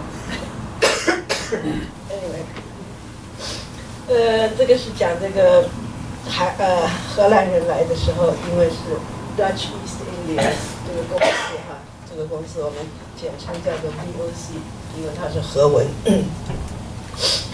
嗯，他呢，那个时候已经经过宗教改革，大概是一五二零年左右，所以他们呢就是要强迫所有的人都要信他们的教。那可是到了一八零六年的时候，英国人来了，英国人跟荷兰人打仗，血淋淋的打，打了两次很大的仗，终于就打赢了。开头的时候没有打赢，什么叫做？Boer War 是 Boer War 一跟 Boer War 二，那这个以后呢，就变成英国人在这里。英国人也是信新教的，他不是信荷兰 Reform Church，而是信的是 Anglican Church，就是英国正教或者是国教啊。那他们来了以后呢，就没有这么严格的要把犹太人改成信他们的教，所以这个这个犹太教就可以在这里成又又再复兴起来。而且就有很多的这个立陶宛来的荷兰难民都搬到这里来，虽然离这里很远很远，可是只要有人来了，觉得这里呃的环境很好的话，就会把他的亲戚朋友都带来。呃，这里就讲一些仔细的情形哈。我们还在另外一个小的博物馆也看到，这个法国人也来过这里，也有一些人是法国人来的。那法国人呢，本来在十四的时候也是很宽大的，就是各种宗教的人他都容忍。可是后来呢，他到比较晚期的时候，就是还是路易十四的时候，他就有了一个新的法律，规定所有的犹太人都要改信他们的教。呃，这个欧洲人也是很奇怪的，他不仅是说要犹太人改信基督教。他如果是新教的，他要旧教的人改信新教；他如果是旧教的，他要新教的人改信。他们为了这个宗教战争打了一百年，整个欧洲打得死去活来的。我们想象一个耶稣基督，他是这个博爱世人，要你容忍别人，要体谅别人，宽容。结果他们能够自己人打上这么一百年，真的是不可想象的事。我我们中国是绝对不会为宗教这么拼命的打。我们不是说，哎，你那个拜的也拿到我的这个那 个佛寺里面，里面什么样的人都可以有，反正多多益善。所以这个比荷兰人还。晚一呃，跟他同时的啊，这个路易十四大概是一六八零年左右，所以那个时候就有一批法国人来，他们在荷兰人的统治下，都还要改名，就像日本人要台湾人改改成日本名字一样，他们所有用的那些镇的名字都要改成荷兰文。可是后来英国人就比较宽大一点，所以荷兰人变成变成。都很喜欢住在这个地方嘛。呃，这里就会有一些法器哈，还有这种教堂的样子。这个是石界写在这个 stained glass，叫什么？彩色的教教堂的玻璃上面。呃，所谓法器呢，就是这个 rabbi 他在讲道或者是说在举行仪式的时候他要用的东西。你如果去一个呃。Synagogue 第一好看的就是他们的圣经，写的漂亮的不得了，而它是这样大大的哈，可能比这个还要大，就是这边一个卷，这边一个卷，两边这样卷起来，所以你要看哪一个地方就要打到这边，就是一本书是一个卷卷，整个是卷在一起的，这个也是很不方便，可是那个写的非常非常的漂亮，描金的、画图的。呃，这个就是有一些什么铃铛啊点的，其实所有的宗教都差不多。你看他们有烧香的，有点蜡烛的，什么呀，呃，跟佛教也都差不多。当然，这个犹太教是特别的古了，比耶稣还要早很多年。那这个是跟他们以色列的历史有关的，这个叫做 Menora，就是一个呃。蜡烛台，可是上面可以放八个蜡烛，中间还有一个。那你点的时候，把这个上面这个就今天点第一个，第二天就点第二个，最后八个都点了。所以他们过这个哈努卡是有八天的，呃，他们小孩子就有八天都拿到父母送他的礼物，所以是比基督教的圣诞节还要好玩。那这个是他们以前在。在跟这个希腊人打仗的时候，他们终于打赢了，就到他们的 syn synagogue 里面去，要要感谢神。那个这个时候呢，他们只有一点点那个油灯的油，他们就点了这个油灯，结果一点呢，就非常神奇的，就这个油八天都没有烧完，所以以后他们都用一个八根蜡烛的烛台来过这个哈努卡这个节。哈努卡因为跟这个呃基督教的圣诞节很靠近，所以很多人就是两个一起庆祝，就是说你过你的，我过我的。可是像这个圣诞树这件事也很有趣啊，大家都喜欢有圣诞树，管它是哪一节、哪一个教。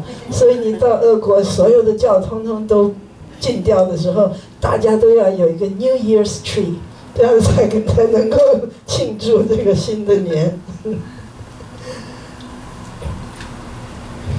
这个是讲他们从这个立陶宛被赶出来的时候，这个字呢用的英文字叫做 pogrom。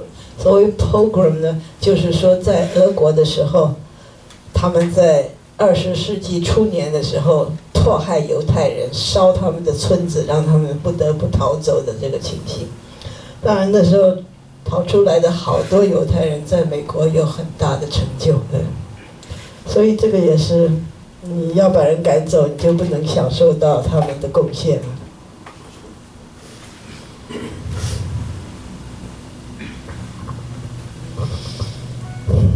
所以在这里，几乎所有的犹太人都是从立陶宛来的。那他们来了，哎，这里是一个很简单的一个 Torah 哈，这就是我说他们的圣经是写在这个上面的。所谓 Torah 是旧约圣经的前前个五个书哈，叫做摩西五书。那所所谓这些信基督教而反对犹太人的。最基本的荒谬的事，就是他信的这个基督耶稣，他是一个犹太人，你有什么好反对他的，对不对？不要讲别的事情，但是这一件就很奇怪。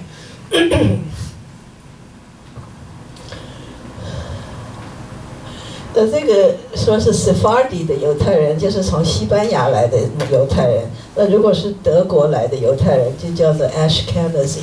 所以这就有各派各派的犹太人，呃，很大的一支是从俄国来的。他这个就好像那个美国开发西部一样，他们好像坐了一个篷车就这样来了，对，不知是有没有坐船。在这个地图上，就是说他在这里的犹太人，有些是从英国来的、法国来的、荷兰的。呃，还有什么？德国的，德国也是很多，西班牙有一点嘛。那这边是最近的这一支，大概是一九一九二零年以前的这一支是从立陶宛来的，后来还一直陆续都有人来就是了。那这个犹太人在种族歧视的时代要怎么办呢？因为他们是被归作白人的，可是他们经常的。走到哪里都受到迫害，所以他们很同情这些黑人，所以他们经常站在黑人这边帮他们说话。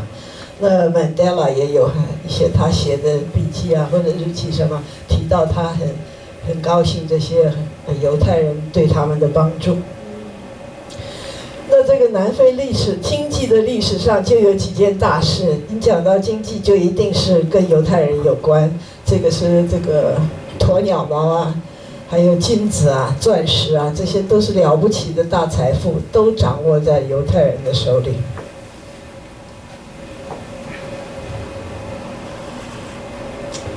他说起来是很得天独厚的了。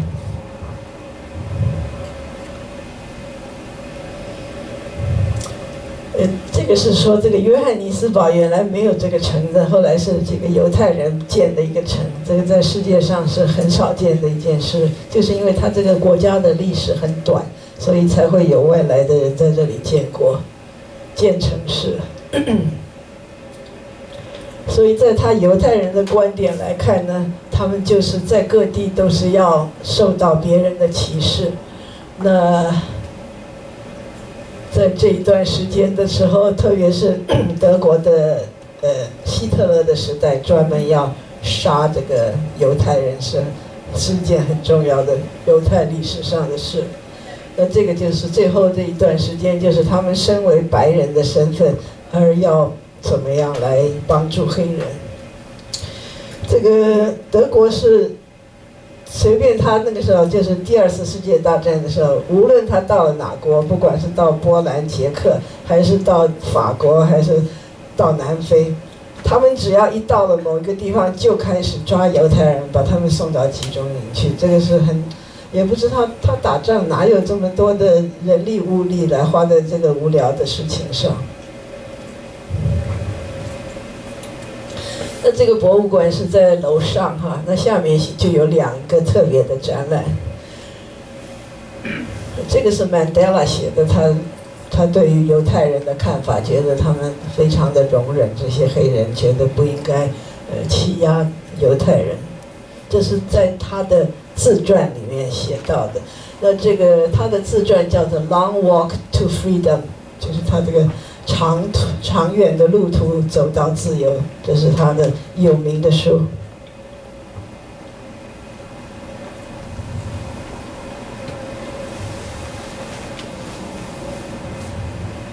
那现在我们到楼下去哈，这个是我们一起，这个是一个大学的艺术学院的主任哈，那这位也是一个中国人，这个中国人呢。他跟他的太太订了这个 trip，结果他太太三个礼拜以前摔了一跤，说是肋骨好像断了几根。那医生说你要去旅行也可以，可是最好不要去。结果他就变成一个人出来了。他姓吴啊，这个我们在 Nice 那的时候就有一个中国餐馆叫做 Wu's Restaurant，所以他就跑去吃了一顿饭。也不知为什么，他们两个好要好的不得了，天天都在一起，所以另外那个太太就很吃醋。他说：“他们一定在讲我的坏话。”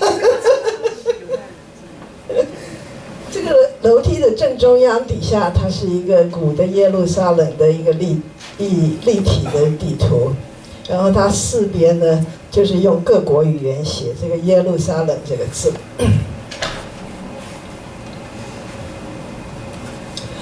那这个楼下呢有两两个特别的展览哈，呃，三个其实是三个，一个呢是都是日本的小玩意儿，大概这么大的一些雕刻的或者小盒子啊什么的，这个是跟某一个犹太人的家有关系，因为他的家本来非常有钱。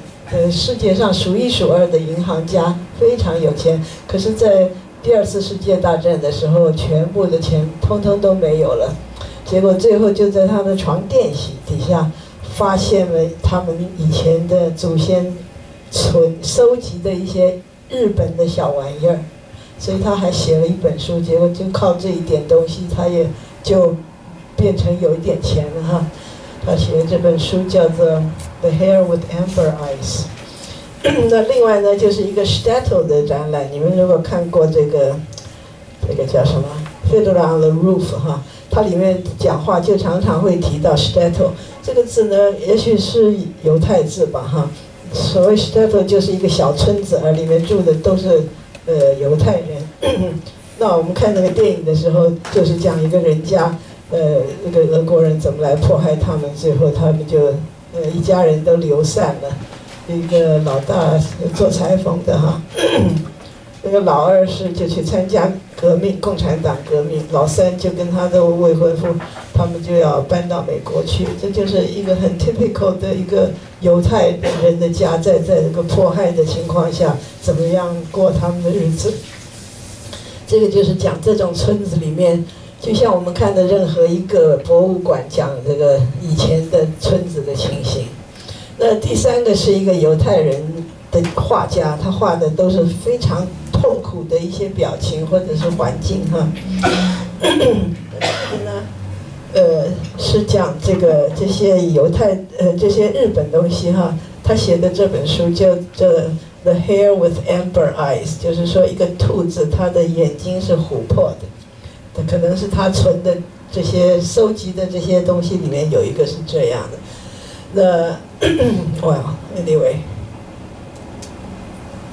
现在就在这里展览，你就可以仔细看他的一些那时候存的东西。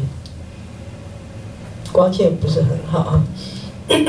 那，这个就是一个 Stato 的展览，就是当时的犹太村子，他们当时离开立陶宛以前住的村子就是这个样子，就是很简朴的，而且用一些当时用的家里的用具。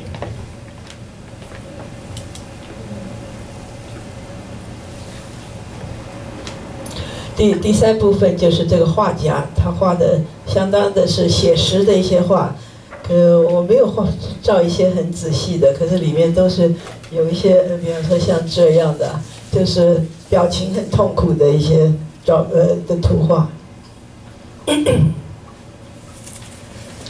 呃，然后我们就吃饭了。他是说，因为这个犹太人的饮食规则太复杂，所以他们。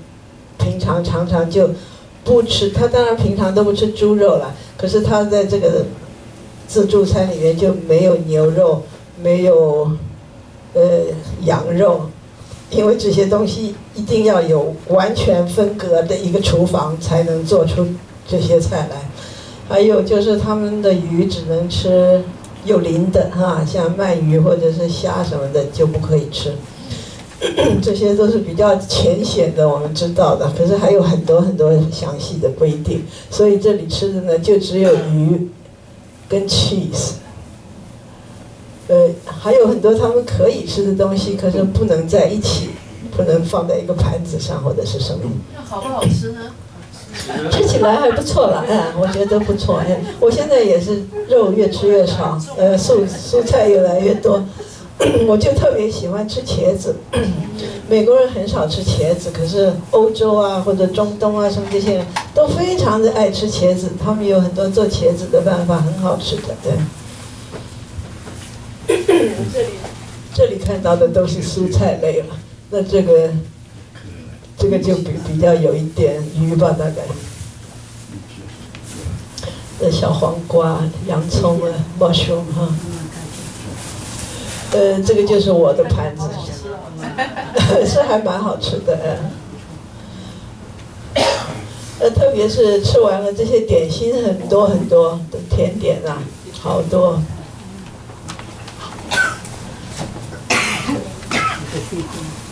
呃，我出去吃东西都是没有顾忌的，回家再来讲究，不能吃太多油或者糖和盐。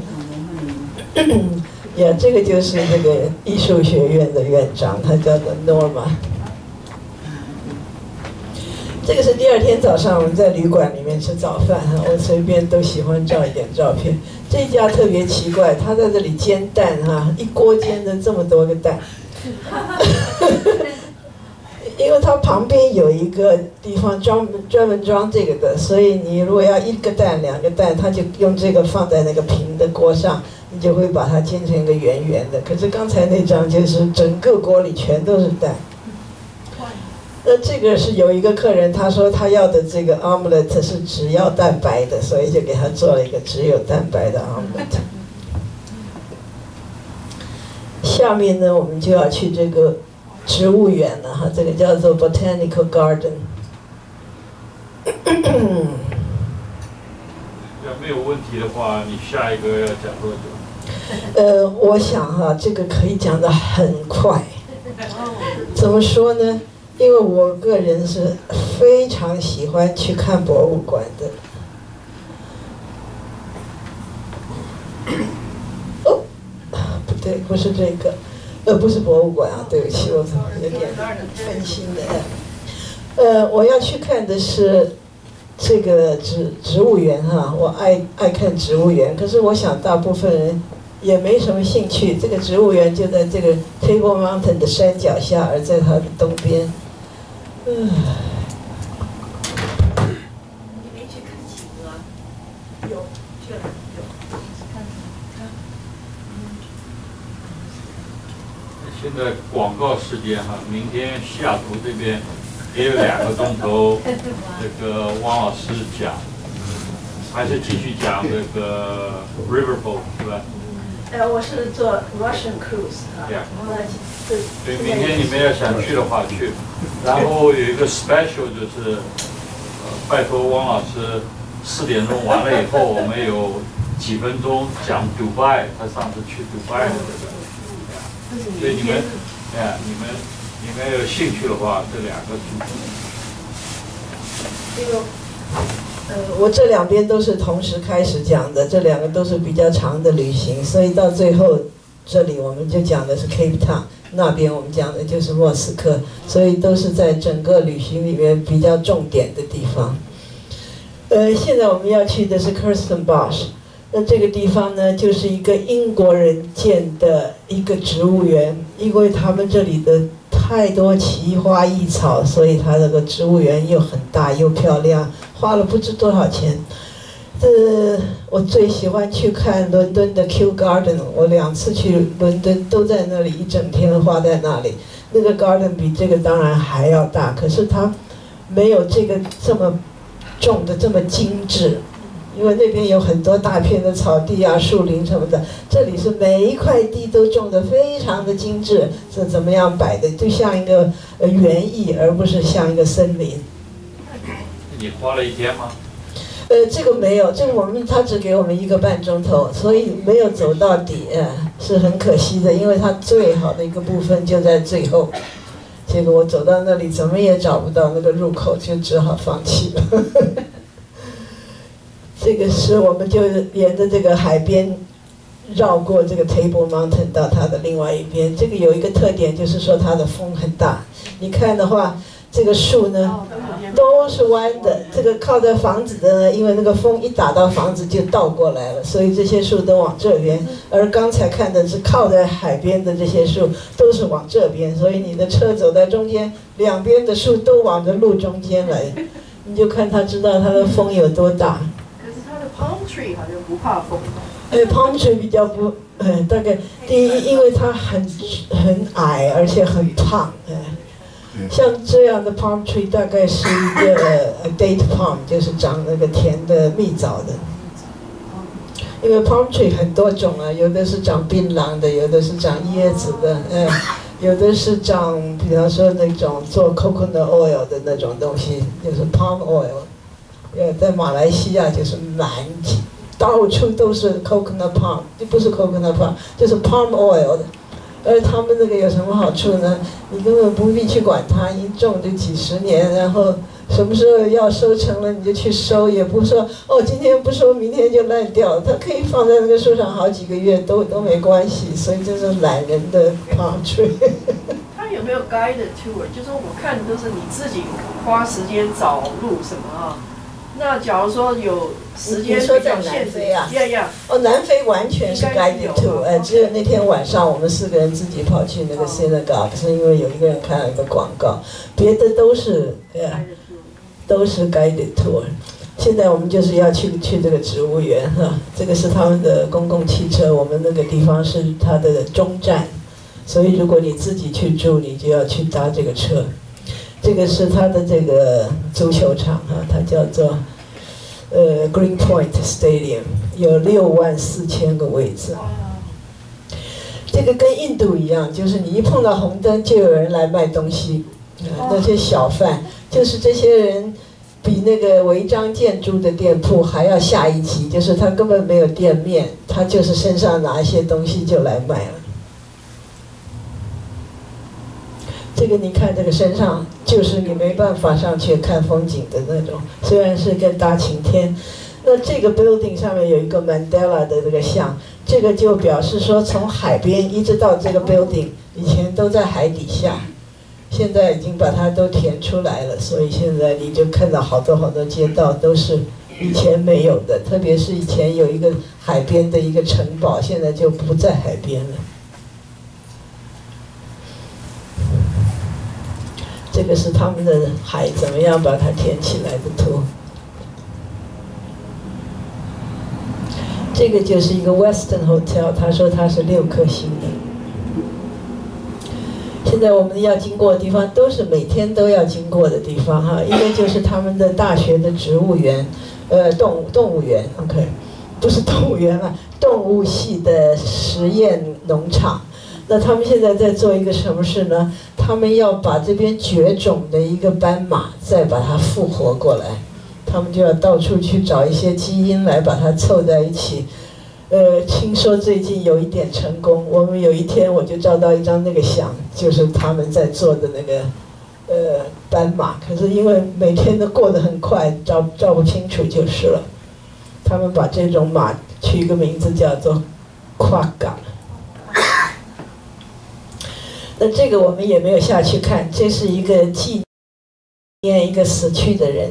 这个死去的人呢叫做呃 Cecil John Rhodes。现在我们说有一个国家叫做 Zimbabwe，它以前就叫做 Rhodesia，就是这个人创建的啊，这个人叫 Rhodes。你如果听到呃 Clinton 总统他大学毕业以后跑到伦敦去读呃，不知是 Cambridge 还是大概是 Cambridge 吧，他拿的是一个 Rhodes Scholar 奖学金，就是这个人的钱。他以前是世界第一有钱的人。那个南非的那个金矿、什么钻石，通通都在他手里。那些农场，即使是现在的，比方说种凤梨的工厂啊，什么这些，都是叫做 Rhodes 什么 Fruits Company 什么的。所以他是一个顶顶有钱的，可是他是一个 homosexual，所以他没有后代。他死以后，这些钱通通都是捐出来。那他呢？你说他是好还是不好呢？当然，他一定有很大的成就，而且很能很能干。可是他是野，他的野心是说，我不只要全世界都变成英国的属地，我要把所有的星球，通通都要变成 英国的书记。他说，如果可能的话，他们都只配做我们英国下面的人。你 说是不是很可怕？你如果查这个 Wikipedia 这个百科全书，你查这个字叫做 Imperialism，就有他的照片，就在第最上面。所以他的成就是了不起的成就，也做了很多好事。你你有没有听说，就是呃，在那个清华 University 以后会有一个 Rhodes Scholarship？这样啊，OK。呃，这个我现在发明了，就是我如果打一个星星在哪里，就表示说这张照片不是我照的。以后我都，以后我都写在那个下面的，以前呢都写在下面的 note 里。可是我在演的时候都看不见那个 note，所以我现在开始就给他打一个星星在那里。你看他这个是很罗马式的，简直是要统治全世界的那个感觉。呃，而他们这里面有一些从那时候留下来的保守的人就很恨他的这个纪念碑，因为他们认为一个 homosexual 的人没有权利这么这 这么嚣张的，对，所以他们每天经过那里都咬牙切齿。他曾经做 Cape Town 的一个呃 governor，是他们的第七任的 governor。这个就是你如果看这个 Wikipedia 的第一页上面最上面就有他在这个 imperialism 这个字下面，他是说他要建一个铁路从埃及通到南非，因为这时候埃及跟南非都在英国属下，所以他说这样我们就可以好好的呃虐待这些人。那这个是他们也是蛮有名的一个大学，叫做 Cape Town University，这个都是他出钱的，这是一八二九年的。那这个这个 University 的公路的对面呢，就有一个这个大学的医学院。这个医学院有什么名气呢？一九六七年，南非的这个 Christian Bernard 这个。sur surgeon 这个外科医师是全世界第一个给人换心的手术，是在这里做的。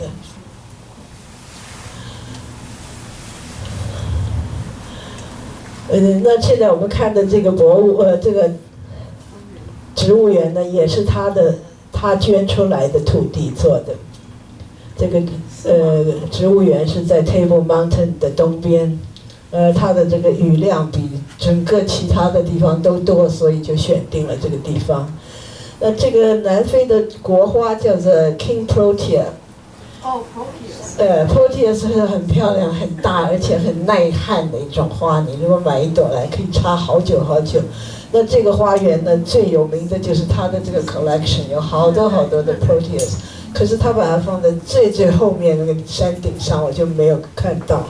可是我们还是会看到一些跟它类呃像它这个花，这个花之所以取名做 Proteus，是一个希腊的海神的名字。它这个海神的特点呢，就是它可以变成各种的形状，你不晓得哪一个是它。那这个花呢，就有各种各样很不像的花，都叫都是它的同一科的。那它也有一个很好的呃温室。这个这是它的商标哈，就是一朵那个。Bird of Paradise，天天堂鸟这个花，他们那里有很多很多的天堂鸟。那我们一进去，第一个看到的就是他们本植物园花了二十五年的时间培养出来的一个天堂鸟，而是金黄色的，所以它叫做呃 Gold，Rich，呃 Strelitzia Gold，而取名做 Mandela。所以曼德拉那时候还来参观，还站在那旁边照过相。这些是 parking lot 进来的地方。我想哈，我们应该要赶快关起来了。可是我就很快很快的给你们看一遍，因为我们实在是没有时间了哈。这个是他说他们一共有四类植物，其中一个是这种叫做 Protea 哈，这全都是，就是他刚才这张桌子上买放的，就把它一个一个。放大，然后又加了一些别的照片，这些都是叫 Protea，这一种呢叫做水水里面，我们说蔺草啊，蔺草可以拿来做草席啊，或者是什么的，或者在他们那里可以做屋顶的。那这种叫做 Heather，就是很矮矮的一件植物，我们这边也很多了，英国也是特别多，这种叫做 Heather，还有一种叫做 Bobine，就是。从这个根球根长出来的，像比方说 iris 就是鸢尾啊，或者是 tulip 啊，而他们那边最多的就是这种花，我们的美国叫做呃 Queen of the Nile，而他们在那边叫做 agapanthus。OK，现在我就把所有的东西这样看一遍。这个 Proteus 在夏威夷很多的，这是一种热带的，澳洲也热带的，就是它很耐旱，所以。那个样子非常的好看。我是最早的时候，我是在澳洲雪梨的是那个旅馆里看到的。这个是它的地图哈。那我基本上这边是没有什么人去的地方，主要在这里。那我们从这边进去，到走到东边，然后这样一直走到最北，然后再下来。可是这个 Proteus 就在这个地方。那我在这个地方找来找去，找了走了好几趟，就找找不到那条路，只好就算了。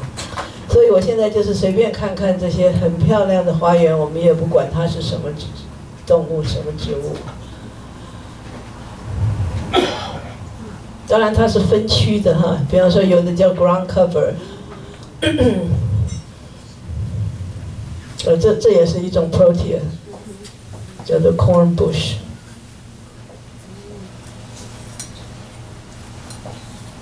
哎，这个小凤梨很可爱哈。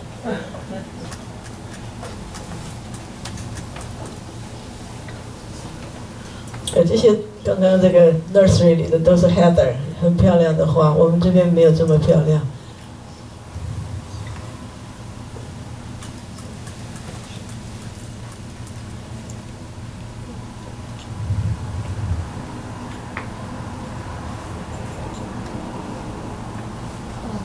最后就走到这个 greenhouse 里面，多半都是一些很耐旱的植物。这样就看完了哈。OK，我们今天就讲到这里。